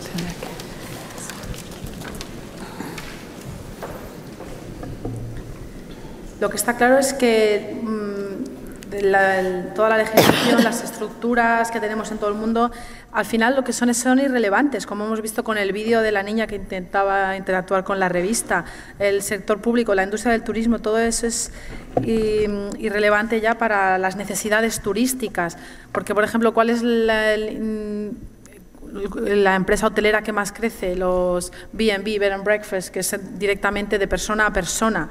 Y si no entendemos este cambio de paradigma que está teniendo lugar, pues todas esas estructuras van a ser irrelevantes y muchas veces, sobre todo en el sector público. Yo creo que, creo que estoy totalmente de acuerdo con su apreciación. Estamos un poco en transición ¿no? y vemos, estamos dentro de una nueva, eh, también yo diría una nueva lógica económica, la economía de los datos, la nueva economía de los datos.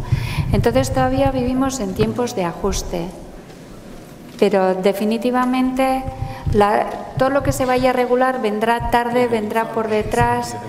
Habrá cuestiones que se irán regulando, pero lo cierto es que el cambio de paradigma es real. Y tenemos que empezar a cambiar la lógica de hacer política pública, tenemos que empezar a cambiar la lógica de crear servicios. Y yo lo que creo es que desde lo público se pondrán las infraestructuras, como hasta ahora. Eh, eh, el, ayuntamiento, el gobierno te hace la carretera, el coche te lo compras tú.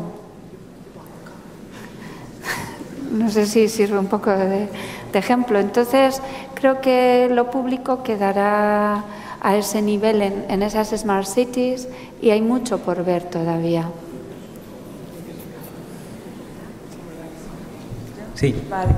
Eh, a ver, todos habéis destacado que si una ciudad no es inteligente, si no tiene sostenibilidad. Entonces yo quiero saber por qué es un punto tan, es un punto tan clave para que una ciudad sea inteligente o destino turístico, o lo que sea? ¿Por qué es tan importante que sea sostenible? Como queráis. Sí, bueno. ¿Por qué es tan importante ser sostenible para un destino inteligente? Es la pregunta, ¿verdad? Es que... Eh, bien, yo, es que es toda una ponencia nueva, lo de la sostenibilidad. Eh, lo cierto es que sostenibilidad quiere, implica futuro, implica inclusión, inclusión en todos los sentidos, inclusión económica, que tengamos un modelo de desarrollo económico donde no solo hay un tipo de industria o un tipo de negocio, sino muchos, turoperadores o abrimos, eh, eh, research, o también otro tipo de emprendedores. O sea, la sostenibilidad nos preocupa porque nos preocupa el bienestar y, y, la oportunidad para todos, las oportunidades para todos. No voy a entrar en lo medioambiental, que es evidente, pero la sostenibilidad desde la perspectiva de la inclusión. Es súper importante, inclusión económica, inclusión social, por supuesto inclusión cultural. Totalmente de acuerdo, pues nos podría dar para un congreso, ¿no? igual que, que este, esa pregunta. Eh, ayer hablábamos eh, durante la cena eh, sobre un proyecto de emprendimiento que había visto alguien por la televisión que se llama Drip Drop. Drip Drop es un proyecto de emprendimiento social que sabéis que es aquel que quiere generar impacto social, que lo que hacía era llevar al destino turístico eh, colaboraba con diferentes ONGs y lo que les llevaba era eh, la ayuda que necesitaban a esas organizaciones. Más bien lo compraba en destino para poder llevar pues, a un colegio, imaginaros, cuadernos, eh, bolígrafos. ¿Qué es lo que ha pasado? Que ha pasado tantas cosas últimamente en nuestro país que ahora mismo están trabajando tanto o más en países en vías de desarrollo como en España, porque muchas veces los turistas que vienen de otros países también quieren hacer partícipe y colaborar con aquellas situaciones sociales en el destino. Quiero decir que a, veces eh, todo puede implicarse, el, impacto social se puede generar con los, ciudadanos que invitamos a nuestras ciudades y, eh, como, como comentabas, el tema de la sostenibilidad es algo básico. No puede haber una ciudad inteligente si no se quiere ir hacia un modelo de, ciudad sostenible. Si hay alguna otra cuestión, ahí. Sí, hola. Yo quería preguntar en esta ciudad en concreto, la información sobre las aplicaciones inteligentes y todo eso está más enfocado hacia los turistas, pero los residentes de aquí no tienen mucha información de cómo pueden enterarse de esto, de lo otro. Entonces quería preguntar si van a hacer más publicidad en, en referencia con las aplicaciones inteligentes para los residentes, ya no tanto para los turistas, sino que esté enfocada hacia todo el mundo. Si queréis os, os comento también eh, en es una, es una, cosa que no solamente está pasando en esta ciudad, sino que muchas ciudades tienen ese problema, que sobre todo hay en determinados rangos de edad de la población que es difícil el, el que puedan saber cómo bajarse una aplicación, por ejemplo. Eh, nosotros en Fundetex hemos desarrollado un proyecto que se llama App Experience y que lo que pretendemos es formar a aquellas personas mayores en el uso de las, eh, de las aplicaciones móviles, del uso de las tablets, de los smartphones. Eh, es una maleta que hemos diseñado con 10 con tablets y con un MIFI se puede conectar hasta en un parque, se puede dar una formación, para llevar las tablets a aquellos sitios donde se reúnan estas personas y enseñarles a utilizar el teléfono móvil, aparte de llamar, algunos ya saben utilizar el WhatsApp, pero un poquito más y que sepan descargarse la aplicación municipal y utilizarla para saber cuándo va a llegar el próximo autobús, eh, dónde está la farmacia de guardia, esas cosas que facilitan mucho el día a día y sobre todo a las personas mayores.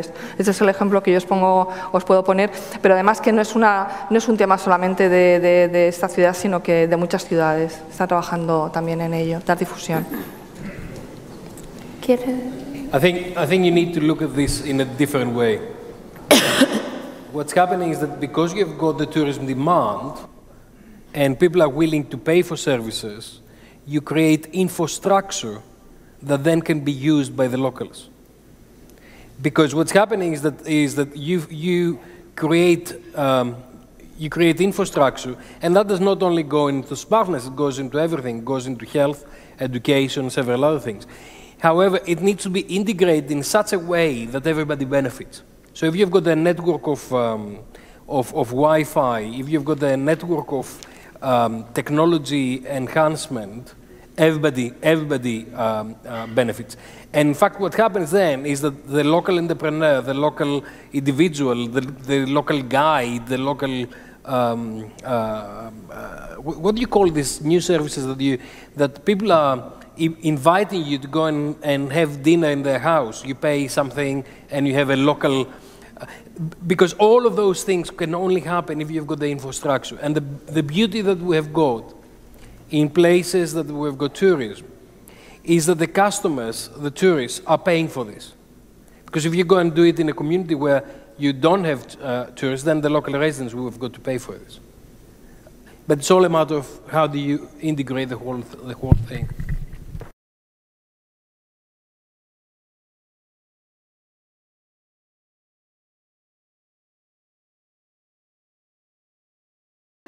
Buenos días.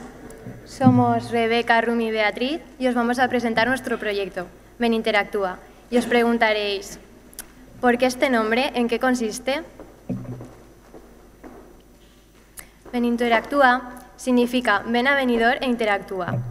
Es un mix de ruta turística y gincana, cuya temática y localización es venidor, donde los participantes se sumergirán e integrarán en un juego cultural e interactivo, gracias a una aplicación, con unos smartphones, tablets y torres de verificación, que consisten en unas pantallas táctiles distribuidas por todo el municipio. ¿A quién se dirige? El proyecto se dirige al turista inteligente, a los residentes y excursionistas y también a los potenciales anunciantes. ¿Qué se persigue? Se persigue lograr la misión de atraer más turistas y aumentar el gasto turístico en venidor así como lograr la visión de, convertir a Benidorm en uno de los destinos turísticos más inteligentes, es decir, en una Smart City. Los principales valores son la innovación, la integración y el compromiso social y ambiental. En definitiva, concluir en una experiencia turística de mayor calidad. ¿Qué pretendemos lograr? Pretendemos mejorar la movilidad y la comunicación, en cuanto a la movilidad, dinamizar los flujos turísticos, es decir, evitar la masificación de ciertas zonas como por ejemplo el centro de la playa. En cuanto a la comunicación, queremos hacer uso de las TICs, redes sociales y marketing para darlo a conocer. Y principalmente realzar la economía. ¿Cómo? apoyando la comercialización de la oferta existente en la zona. Es decir, buscamos que los principales comercios de la zona inviertan en nuestra app y la publiciten. Así que conseguirán ellos publicitarse y incrementar su demanda. Pues se busca que los participantes del juego acudan a estas motivados por el premio que recibirán al completar el juego. Pero os preguntaréis, ¿de dónde sacaríamos el dinero? Pues nosotros tendríamos dos formas de financiarlos. La primera sería a través de la coparticipación público-privada. Eh, sería eh, las entidades públicas más las empresas privadas trabajando en un conjuntamente. Y la segunda sería financiarnos a través de nuestra app mediante banners eh, con las cuales se trataría de, cubrir los costes anuales que puede conllevar el proyecto. Para hacer más accesible eh, este proyecto a personas con alguna discapacidad, hemos pensado que son necesarias algunas empresas, como por ejemplo Amigo 24 o Adas Cutes Alquiler, para personas que tengan alguna discapacidad eh, de movilidad. Luego hemos incorporado Talkback a nuestra aplicación para ayudar a las personas con alguna discapacidad visual. Y finalmente, para acceder al islote, deberíamos contar con alguna empresa que sea de transporte como la que hemos puesto aquí de excursiones marítimas. Bueno, ¿y qué tiene que hacer el participante cuando se encuentra en una de estas torres? Pues lo primero es registrarse. En las torres están continuamente interconectadas unas con otras a través de una intranet. Se pueden registrar a través eh, también de la aplicación móvil. Una vez registrados, le aparece esta pantalla, en la que tiene que seleccionar el nivel al que quieran jugar.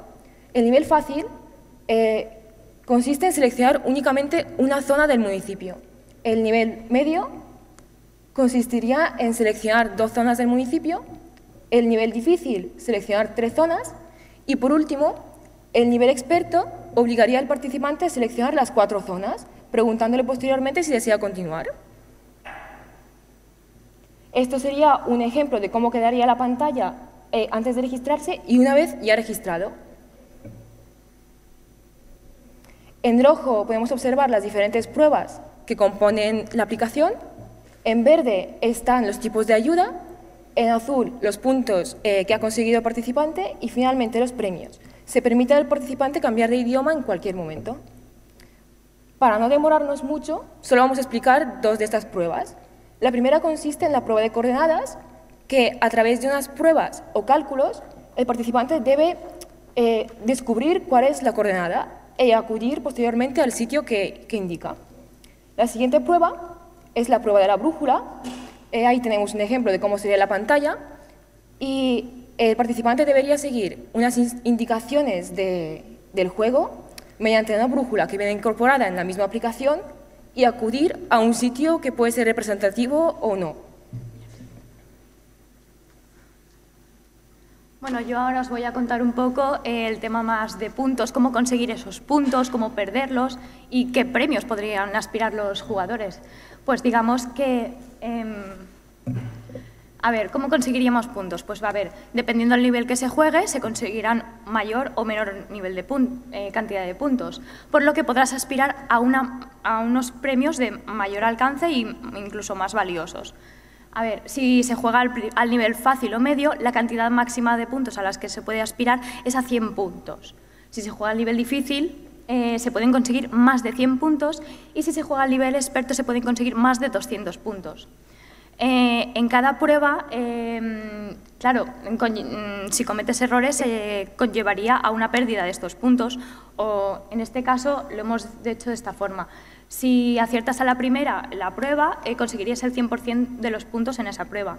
Si aciertas a la segunda, solo conseguirías el 50% de los puntos. Si, aciertas a la tercera, el 25%. Y si aciertas a la cuarta y, con, consiguientes, eh, no conseguirías ningún punto, pero continuarías jugando. Bueno, una vez se acabe el recorrido, tienes varias opciones. Em, puedes canjear tus puntos o seguir jugando. Claro, puedes seguir jugando, como dice aquí, y bueno, em, a ver, si quieres seguir jugando, tienes dos posibilidades. Si en la primera partida eh, no has llegado a alcanzar la mitad de puntos que podías alcanzar como máximo, es decir, si tu máximo era conseguir 100 puntos, si no has alcanzado los 50, en la segunda ronda o en la segunda partida pues los sumos y los puntos que consigas en la segunda partida se añadirían a los de la primera, pero no pudiendo superar los 150 puntos. Si sobrepasases, si sobrepasases em, la mitad de los puntos posibles que podías ganar, eh, tendrías que canjearlos por los premios y además si quisieses seguir jugando, pues empezarías una nueva partida partiendo desde cero con los puntos.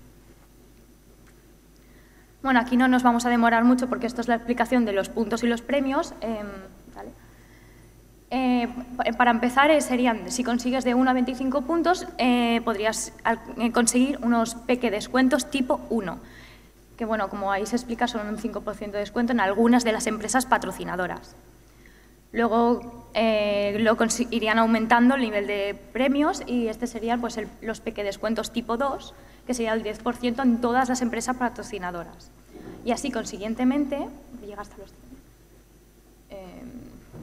más, eh, incluso descuentos de 2 por 1 3 por 2 y aquí podrías te da a elegir varios tipos, puedes elegir descuentos de 2 por 1 3 por 2 o descuentos del 50% en todas las empresas o incluso elegir entre varios pequeños descuentos tipo 1 y tipo 2. Si consigues más de 100 puntos, eh, tendrías unos premios excelentes, por lo que podéis ver, pero esto tiene una, una pequeña letra, una letra pequeña que es que es, más de 100 puntos solo puedes conseguirlos con la ruta difícil y experto. Y, por consiguiente, para conseguir más de 200 puntos, como veis aquí, se, pueden ver los, los premios a los que puedes aspirar. Y finalmente también tiene letra pequeña y es que estos son más difíciles de conseguir porque eh, solo son posibles al conseguir el 100% correctamente la prueba y la ruta a nivel experto. Y bueno, con esto queremos daros las gracias por escuchar nuestra presentación y, daros también las gracias por darnos la oportunidad de presentar nuestro proyecto ante todos ustedes. Muchas gracias.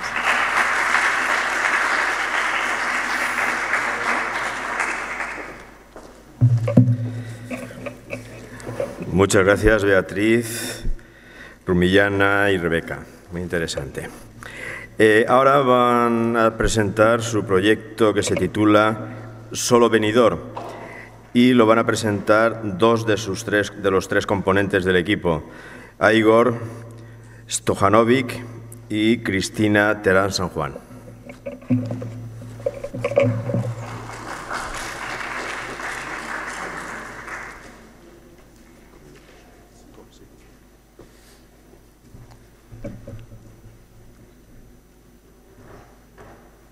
Hola a todos. Me llamo Igor Stojanovic, os voy a presentar nuestro, nuestro proyecto Solo Benidorm. Primero me gustaría presentar a mi colega Cristina Terán y Laura y Valentina que hoy no están con nosotros. Uh, estructura de trabajo. El trabajo tiene tres partes importantes. Uh, primero abordamos un poquito el tema de, del concepto del destino inteligente, luego analizamos el modelo turístico de Benidorm y al final concretizamos la propuesta que se llama Solo Benidorm. Uh, como hemos he escuchado hoy, el eh, concepto de destino inteligente no es, no es fácil definir y nosotros revisamos mucha literatura para intentar captar qué es el destino inteligente. Al final, para nosotros, destino inteligente se puede desarrollar en cuatro niveles, equilibrio, experiencia turística, cooperación y co-marketing. Lo más importante para nosotros es el concepto del destino inteligente, que es la consecuencia de aparición del, del turista inteligente. Y por eso, por eso bueno, es, la idea es conectar esos cuatro niveles en un sistema operativo. Analizamos, a partir de eso, analizamos el modelo turístico de Benidorm, que básicamente tiene dos modelos, durante verano, turismo de sol y playa, y durante invierno, turismo, turismo senior. Eh, en cuanto de, de, plazas, Benidorm cuenta con más de 70.000 plazas, uh, plazas hoteleras, pero es, se nota una eh, en cuanto de ocupación hotelera y ocupación de apartamentos, una notable estacionalidad durante los meses de invierno, especialmente durante enero, noviembre y diciembre, y estamos hablando de un eh, descenso del 30-30%, eh, lo que significa que tenemos 20.000 plazas durante invierno vacías. Y eso es lo que queremos revitalizar en nuestro proyecto. Y no se trata solo de 20.000 plazas, se trata de, unas, eh, de un eh, impacto económico eh, bajo durante el invierno Y por eso es que hay que encontrar una manera como revitalizar las pla- plazas, pero también subir el impacto económico. De esta manera, nos analizamos el Benidorm a través de estos cinco, cinco, cinco niveles de destino turístico inteligente y enfocamos en romper la estacionalidad, diversificar la oferta, eh, crear una gestión integrada del espacio y territorio de Benidorm y utilizar, utilizar tecnología nueva en comunicación con los, con los eh, turistas. Por tanto, la propuesta solo Benidorm es crear un sistema del destino turístico que aprovecha todos los, recursos existentes del destino turístico, hoteles, empresas, todo lo que hay. Entonces, eh, hacer como, una estructura dinámica y flexible compartiendo instalaciones, como por ejemplo, un hot- hotel puede ofrecer en un dado momento cinco plazas para un grupo, para un eh, perfil de, turista especial, pero en otro momento 15 plazas. Eh, se puede incluir una empresa eh, turística, se puede ofrecer una excursión. De esta manera nos entendemos el destino como destino, como organismo vivo, que puede crecer y decrecer, atraer a nuevos perfiles de turistas para eventos y ferias, y el valor añadido es el sistema este que, eh, que, que existe y al final eh, utilizar la tecnología para comunicar con el, con el turista. ¿De, ¿De quiénes estamos hablando? De viajero solo, por ejemplo. Es el perfil de turista que puede viajar durante todo el año. Entonces, estamos hablando, es mercado que crece, eh, que, no, que busca actividades personalizadas, que tiene motivación de conocer otra gente, hacer amistades. Además, estamos hablando de un eh, mercado de 8,5 millones de personas solo en España. Y se estima que los viajeros solo gastan 40% más en viajes que un turista regular. Por eso, ah, estamos pensando cómo, cómo nos comunicaremos con ellos. Tenemos sistema, tenemos una oferta y creamos una plataforma virtual. Una plataforma virtual que puede aglutinar toda la oferta de alojamiento, de transporte, de rating dispersa por Internet de varias empresas. Una plataforma que tiene gestión centralizada por, eh, por Ayuntamiento de Benidorm. Y entonces, pero sin, sin, inte- eh, sin arriesgar con la independencia que tienen empresas. Para turista eso significa ahorro de tiempo porque tiene todas, eh, todas informaciones en un lugar y además interacción entre el destino y el turista directamente a través de esa plataforma y entre turistas. Como podemos ver, tiene una, eh, un chat. El turista puede entrar dentro, preguntar lo que quiere preguntar al destino, interactuar con el destino, pero si imaginamos que tenemos un turista de Madrid, otro de Alemania, entonces ellos pueden interactuar y decir, mira, tenemos un apartamento de cinco personas, vamos en junio juntos, nos conocemos, nos pasamos una semana y el destino lo ofrece, se adapta a sus necesidades y ofrece diferentes acciones, diferentes actividades turísticas y alojamiento. De esta manera se revitaliza el espacio y se ofrece a grupo de personas ah, especiales. ¿Por qué solo Benidorm? ¿Por qué estamos jugando un poquito con palabras? Se supone una integración de los agentes en un solo sistema y una cooperación total en el destino. Se dirige a los viajeros solo y se plantea un sistema innovador e inteligente que existiría solamente en Benidorm, porque ahora mismo en el mundo no existe un destino turístico que se adapta a necesidad de solo viajero. Existen ag- agencias que ofrecen paquetes, pero no destino que dicen, mira, nosotros podemos ofrecer esto. ¿Y cuál es la beneficia? Pues en cuatro niveles que tenemos, tenemos en tecnología, gestión, control, comunicación directa con el turismo, territorio, gestión de territorio, mejora de movilidad, utilizar los espacios, por ejemplo, los hoteles, hoteles pequeños, familiares, que no pueden competir con las cadenas grandes. Entonces, de esta manera, ellos pueden entrar y competir y ofrecer sus plazas durante, a través de esa, plataforma. Desarrollo de nuevos productos turísticos, una plataforma para ofrecer a diferentes eh, perfiles de turista y en, en cuanto a la sostenibilidad, eficiencia, ahorro y beneficios económicos en uso optimizado, y estamos hablando de un proyecto que no hace falta invertir dinero, solo utilizar los recursos que tenemos y crear un sistema.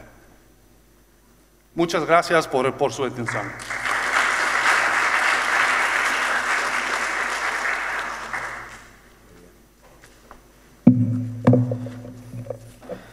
Muchas gracias a Igor, Cristina. Eh, la tercera presentación es Venidor Experience y lo va a presentar Lorena Martínez, Sergio Bleda y Yaiza Saez.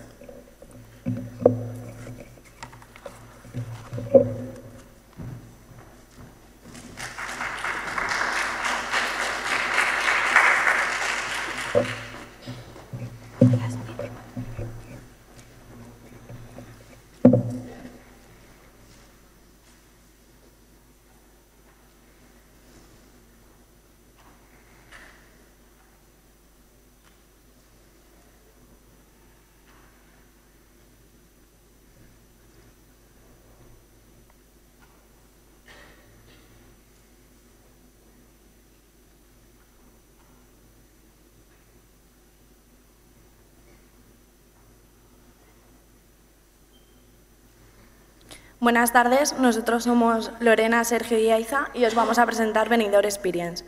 Venidor Experience es una idea que la trasladamos a una aplicación móvil en el que tiene lugar cuatro términos fundamentales, como son la participación, la tecnología, la sostenibilidad y la experiencia.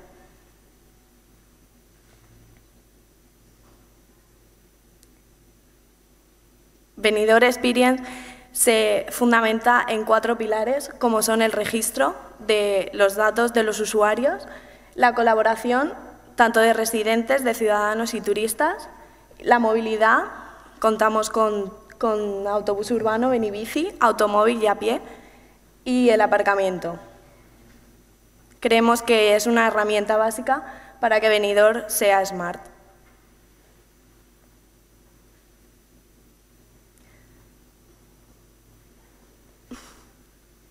Falta registro. El primero de ellos es el registro. Eh, empezamos con la identificación de los usuarios, en los que se tienen que registrar con sus datos principales y esta información la vamos a utilizar para incentivar por, por ellos aportarnos esa información y penalizar por incumplir eh, lo que luego veremos en, en el tema de aparcamiento. Y también es importante la información sobre los vehículos, sus principales datos, y esta información la vamos a utilizar para hacer el check-in y el check-out de los vehículos en estas plazas de aparcamiento.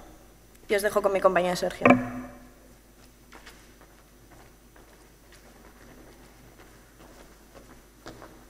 Buenas tardes, eh, soy Sergio. Voy a continuar con la exposición de nuestro proyecto. Principalmente voy a exponer eh, uno de los principales eh, puntos de nuestra aplicación, véase la movilidad. Eh, principalmente hemos querido con esto geolocalizar distintos puntos, distintos medios de transporte relacionados con la sostenibilidad. todo ello localizado, y dotado de una serie de tecnología, como pueden ser los sensores, que eh, pretenden pues, eh, captar magnitudes físicas eh, de temperatura, de movimiento, presión, que lo podamos, en este caso, convertir a nuestra conveniencia.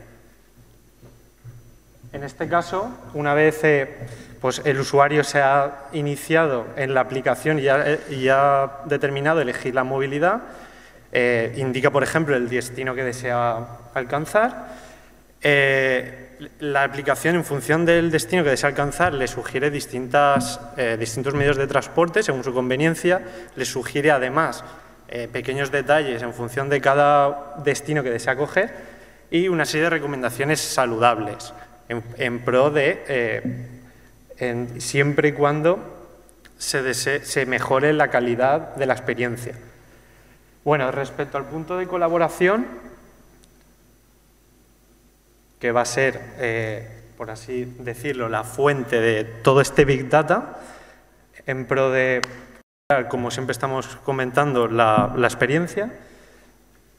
Bien, eh, a través, hemos pensado que a través de los códigos BIDI, eh, este proyecto, a través de estos códigos, como comentábamos, capta información, por ejemplo, que el cliente, o sea, el cliente en este caso, el turista o el residente, eh, detecté pues, que a lo mejor el transporte público está muy saturado o que hay residuos urbanos que pueden afectar a la mala imagen del destino, al fin y al cabo esto puede afectar hasta el desarrollo local del mismo, eh, eh, los desperfectos que puedan haber en la vía pública y sobre todo nuestra idea estrella que es el registro de los vehículos.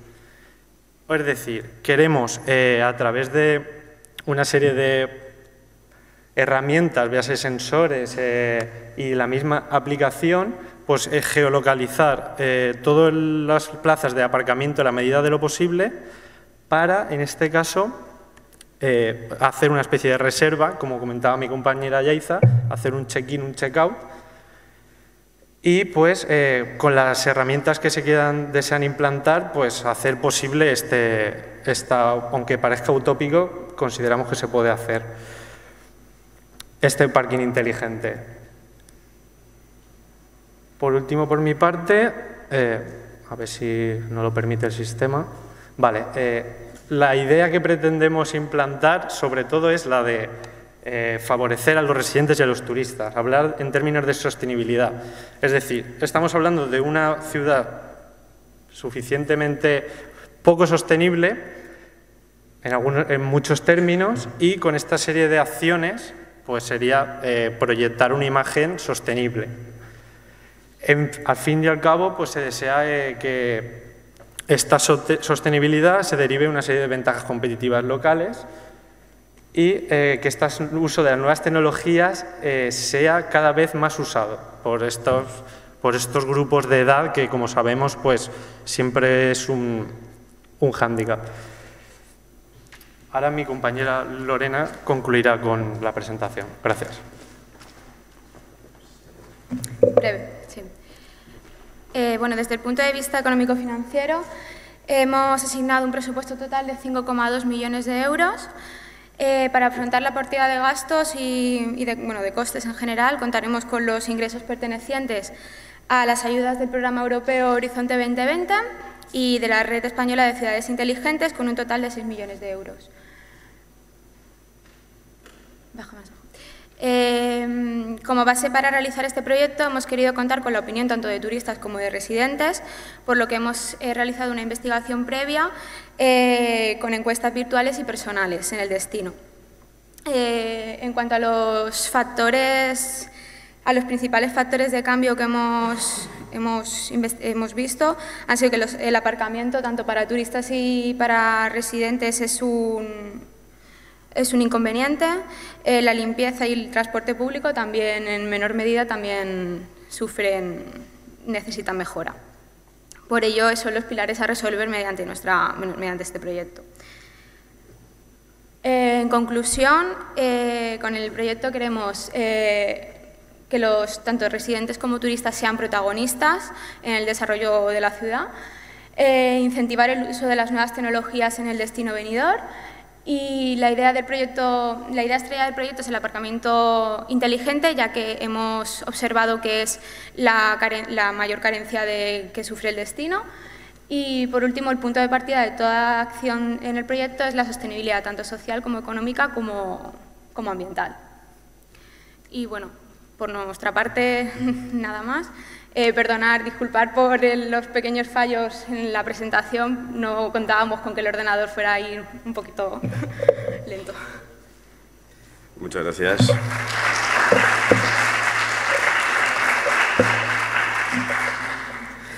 Ahora vamos a dar paso a las tres propuestas, las tres presentaciones que han llegado aquí a la final por el acceso libre. Entonces eh, vamos a ver, a llamar ahora a Daniel Menchaca, que es la propuesta Smart APP Venidor.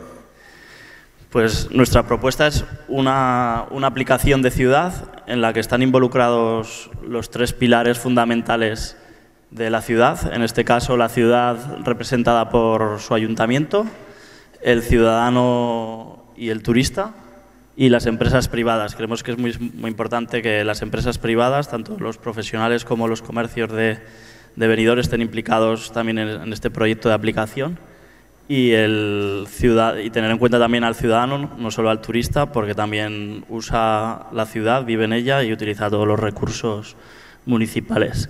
Entonces, la idea la idea es que todos los datos y todos los servicios que dispone la ciudad, actualmente el ayuntamiento pues ya tiene controlados tanto la flota de autobuses como eh, diferentes open data y servicios que tiene de, agenda y, demás, pues que se, que se publiciten a través de una aplicación en la que eh, ofrezca servicio al ciudadano y al turista, eh, información de interés de todos los puntos geolocalizados de la ciudad. La aplicación funciona siempre con la geolocalización entonces, eh, te dice dónde estás y todo lo que tienes a tu alrededor.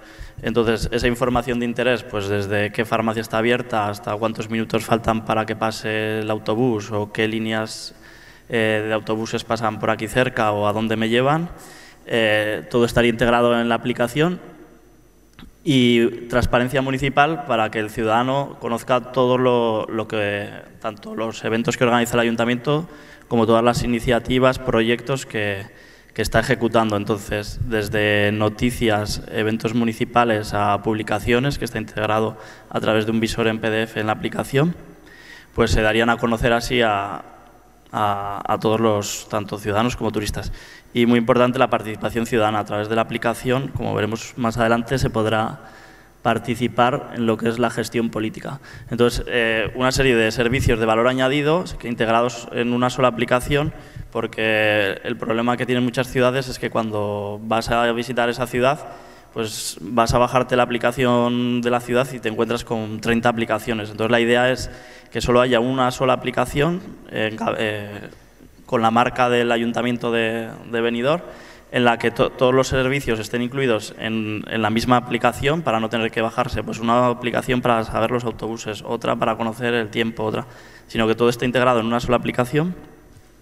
Y entonces estos servicios de valor añadido, con pues todos los datos, Open Data y demás de la ciudad, eh, con la información que aportarían los comercios, luego vamos a explicar eh, la parte de empresa, la participación tanto de los ciudadanos como de turistas, más todos los servicios que ya tiene disponible la ciudad, lo que harían es, a través de la aplicación, valorizar estos datos, dar un valor añadido a los mismos, eh, ponérselos en el bolsillo al ciudadano y, la aplicación consigue monetizar lo que son toda esa información.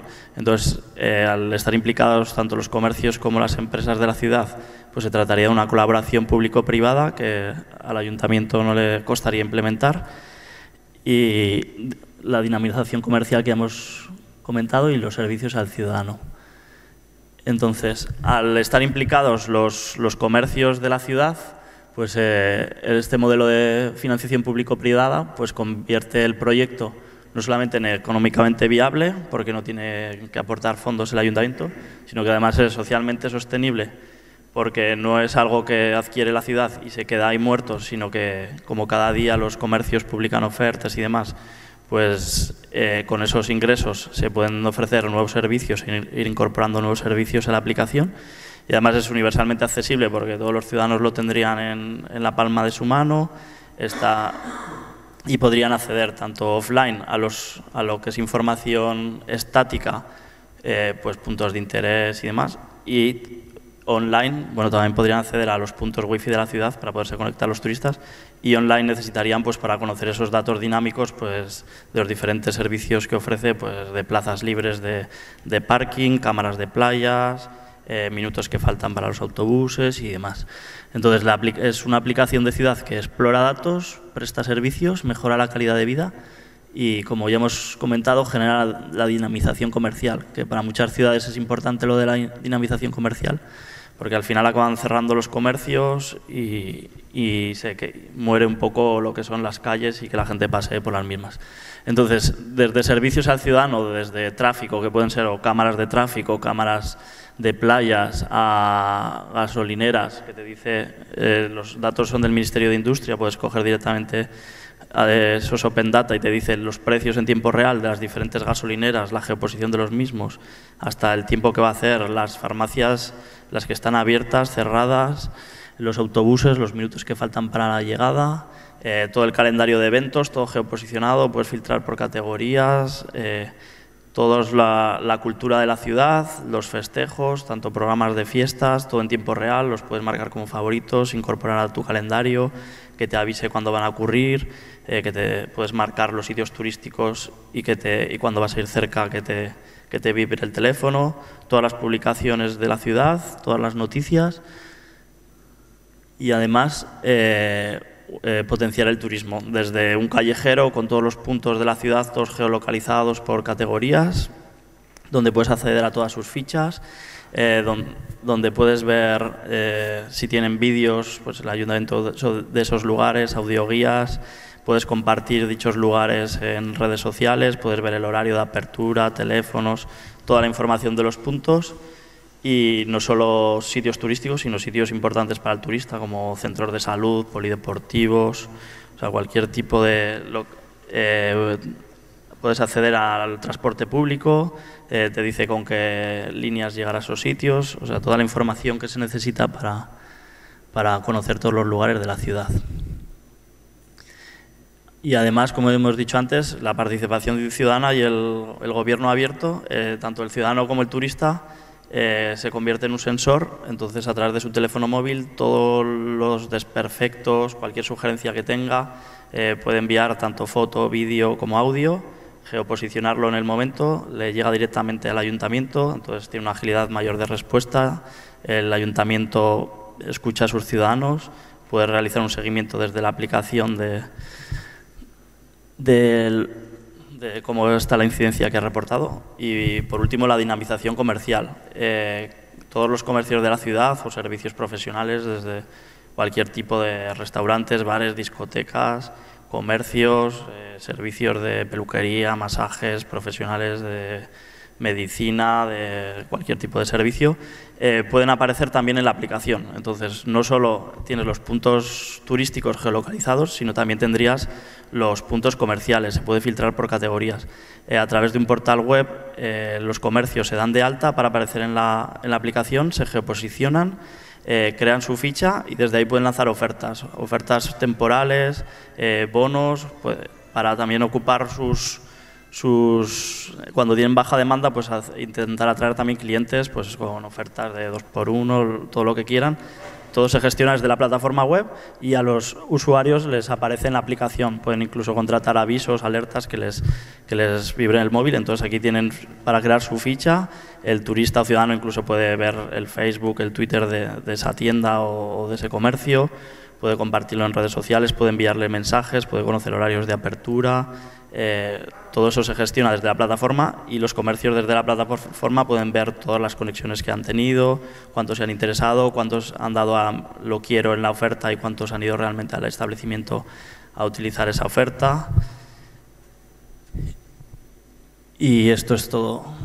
Entonces esta aplicación eh, es la que queremos implantar aquí en Benidorm. Ya hemos conseguido ya implantarla en otras dos ciudades de España y el objetivo es ese, eh, dinamizar el comercio de la ciudad, tener una aplicación para el turista y para el ciudadano con todos los servicios que ofrece actualmente el ayuntamiento, eh, que sea sostenible porque al final se financia a través de, los comercios y que sea rentable para, o sea, económicamente viable para, tanto para las arcas municipales como para los ciudadanos porque ni les cuesta a ellos dinero ni les cuesta al ayuntamiento. Muy bien, Daniel, muchas gracias.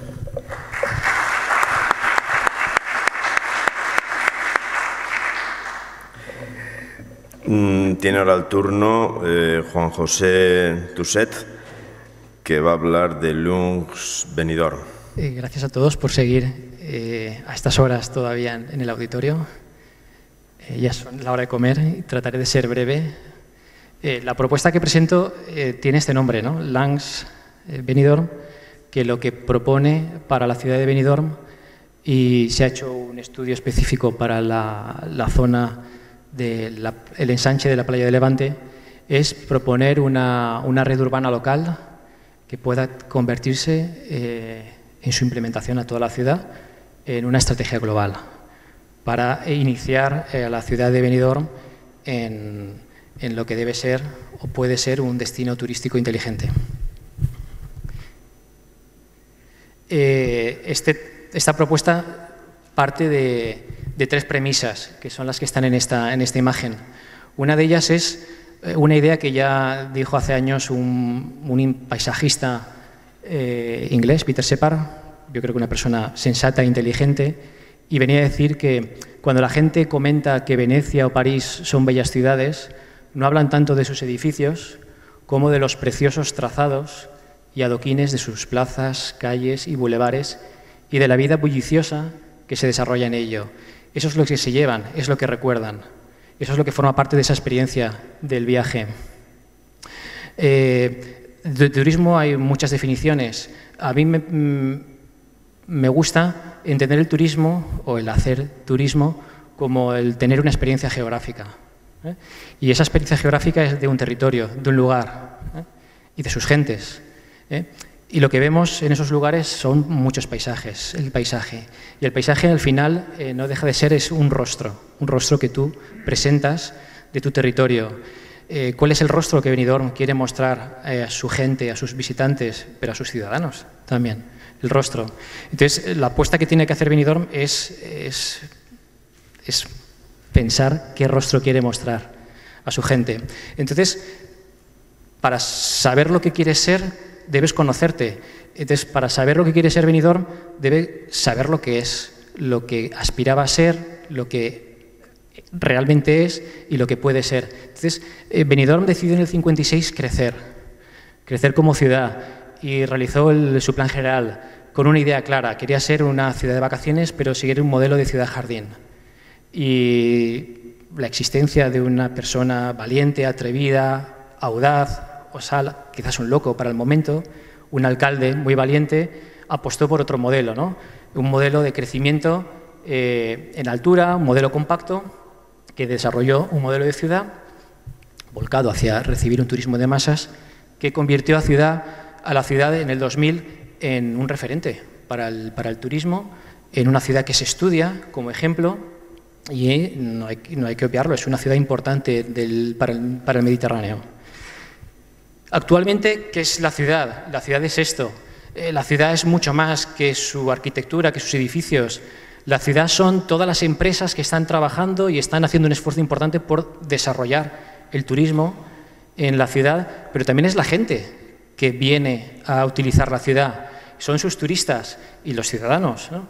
Y hay que escucharles, hay que saber lo que hacen, estudiarlos, observarlos y, aprender de ellos. ¿Qué proponemos eh, para que Benidorm se inicie en esta senda, en este camino largo de querer ser una ciudad inteligente, un destino turístico inteligente? Y es que empiece por plantearse cómo adaptarse al cambio climático para renovarse, para reinventarse y proyectar su futuro. Eh, recientemente el panel de expertos del cambio climático de 2014, hace un mes, lo ha puesto ya como una urgencia importante para las ciudades. Y es que eh, tenemos que animarnos a plantearnos seriamente cómo reducir las emisiones de CO2.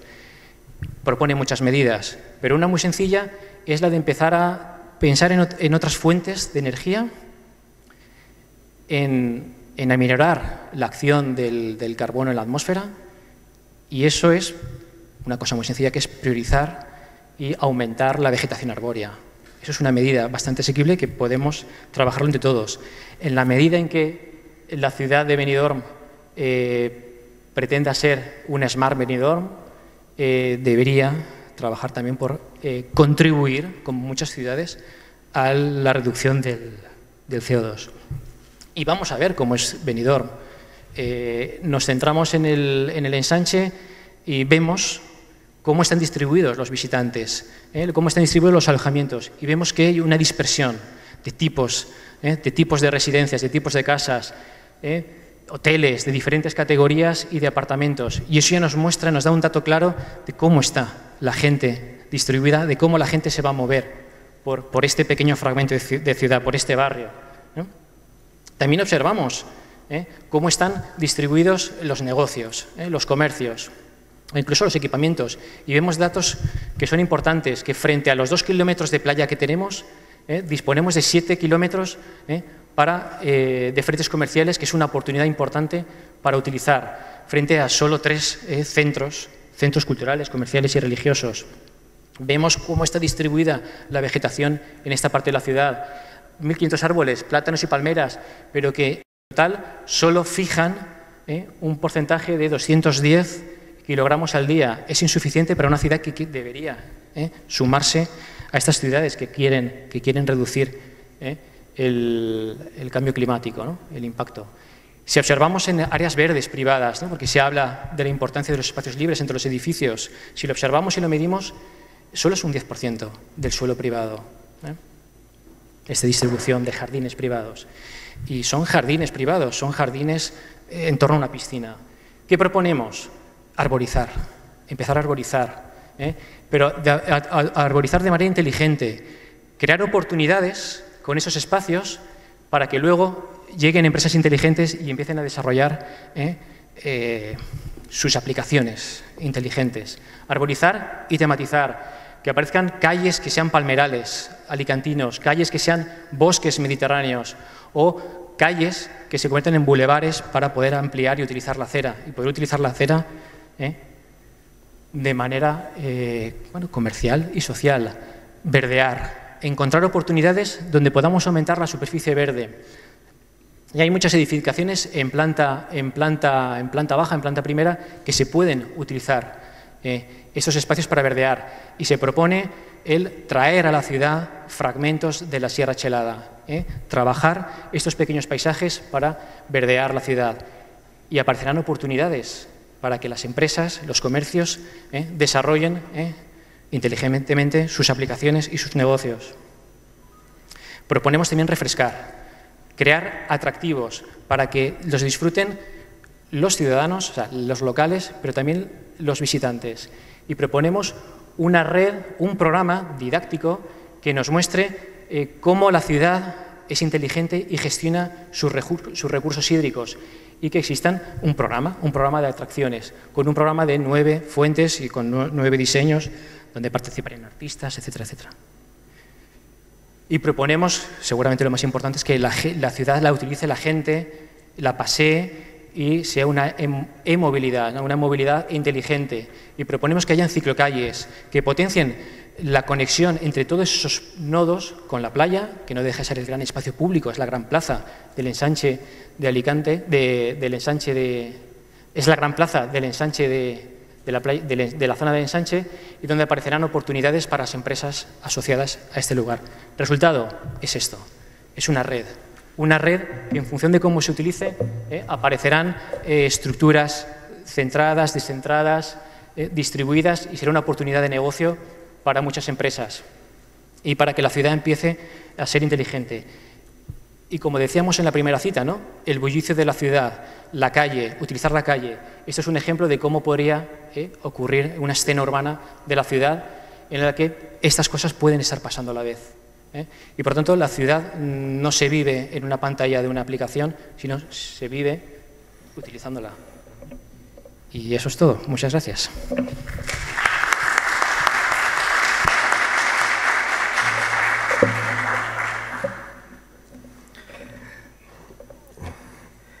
Vamos ahora ya con la última presentación, que es de Smash Beach APP y que la va a presentar un representante del Santo Comunicación. Cinco minutos. Trajano, el emperador Trajano, tenía un señor que se dedicaba única y exclusivamente a medir el tiempo. Y ese señor era una de las personas que más sobornaba a la gente para que no mirase el reloj.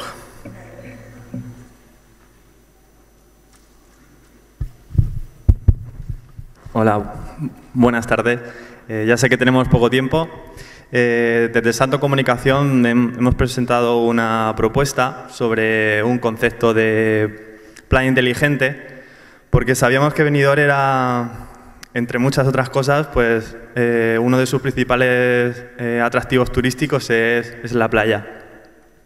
Y nada, hemos buscado un concepto de, de plan inteligente y desarrollar un, un, un proyecto sobre, mm, sobre, un, sobre el concepto y sobre una aplicación móvil. El- la aplicación móvil se, lo voy a contar rápido, la aplicación móvil se distribuye en cinco apartados y uno de ellos es eh, la parte de alquiler y reserva, porque queríamos, queremos potenciar el- la comercialización dentro de, de la aplicación y, y pensábamos que, que una de las partes principales de la aplicación sería eh, que se pudieran distribuir productos a través, el producto que se genera en la playa, que se pudiera distribuir a través de la aplicación. Se pudieran hacer reservas, fuera ligado a un motor de reservas y, y eso pensamos que podría ser uno de los principales atractivos para, para ligar la playa a, la, a, la, empresa y a la generación de, de riqueza que se, que se puede producir ahí.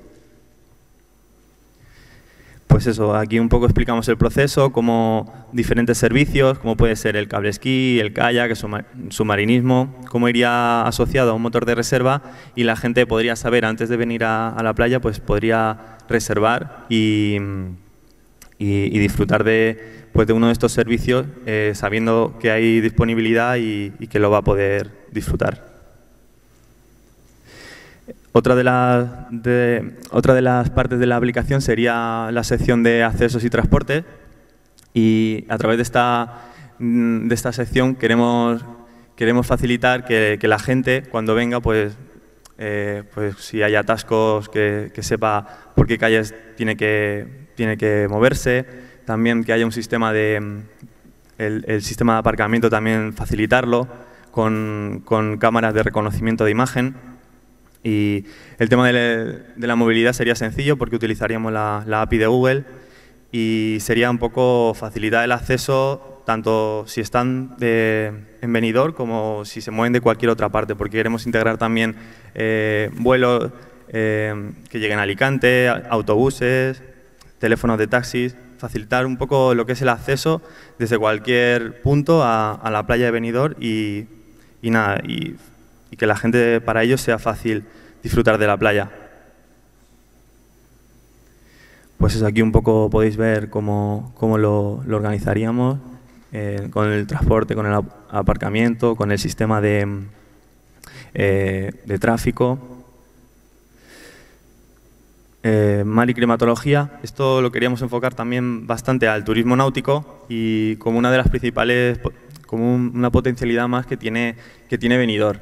Eh, creemos que, que, es importante eh, generar un conocimiento alrededor de este sector y a través de un sistema de, de boyas inteligentes, pues proponer, eh, facilitar información en tiempo real sobre, pues sobre mareas, sobre, eh, sobre la temperatura, la radiación solar, calidad del agua, todo en tiempo real. Y eso, la gente antes de ir a la playa pues va a saber si, si la playa está apta para, pues, para disfrutar de, la actividad que quiera realizar.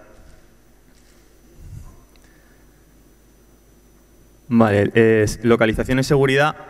Este, este apartado iría con, una, con, un tipo de tecnología que es tecnología Enable, que sería a través de un tab activo y podemos eh, tener localizado en tiempo real a nuestros hijos, porque vimos que, que, que, el tema de los hijos, de los niños en la playa era uno de los temas que más preocupaban porque hay, niños que se pierden, es bastante habitual que se despisten y demás, y a través de la aplicación y, un task pasivo, pues puedes tener localizado a tu hijo o, o simplemente cualquier, eh, pues tu, tu, toalla, tu maleta, es tener en tiempo real localizado, tener geolocalizado cualquier elemento dentro de la playa, ¿vale? Con un sistema de balizado de wifi y, y tabs activos que estén directamente eh, enviando, enviando señal podemos, podemos traquear la posición de, cualquier elemento.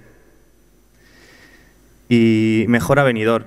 Eh, esta parte eh, pues sería una comunicación entre, entre el turista y, y la administración, de manera que, que, se, se, pueda facilitar información sobre el destino, sobre, sobre los posibles problemas que puedan surgir en la playa, posibles mejoras, y sería como la parte social y, en contacto con, con la gobernanza de, del destino.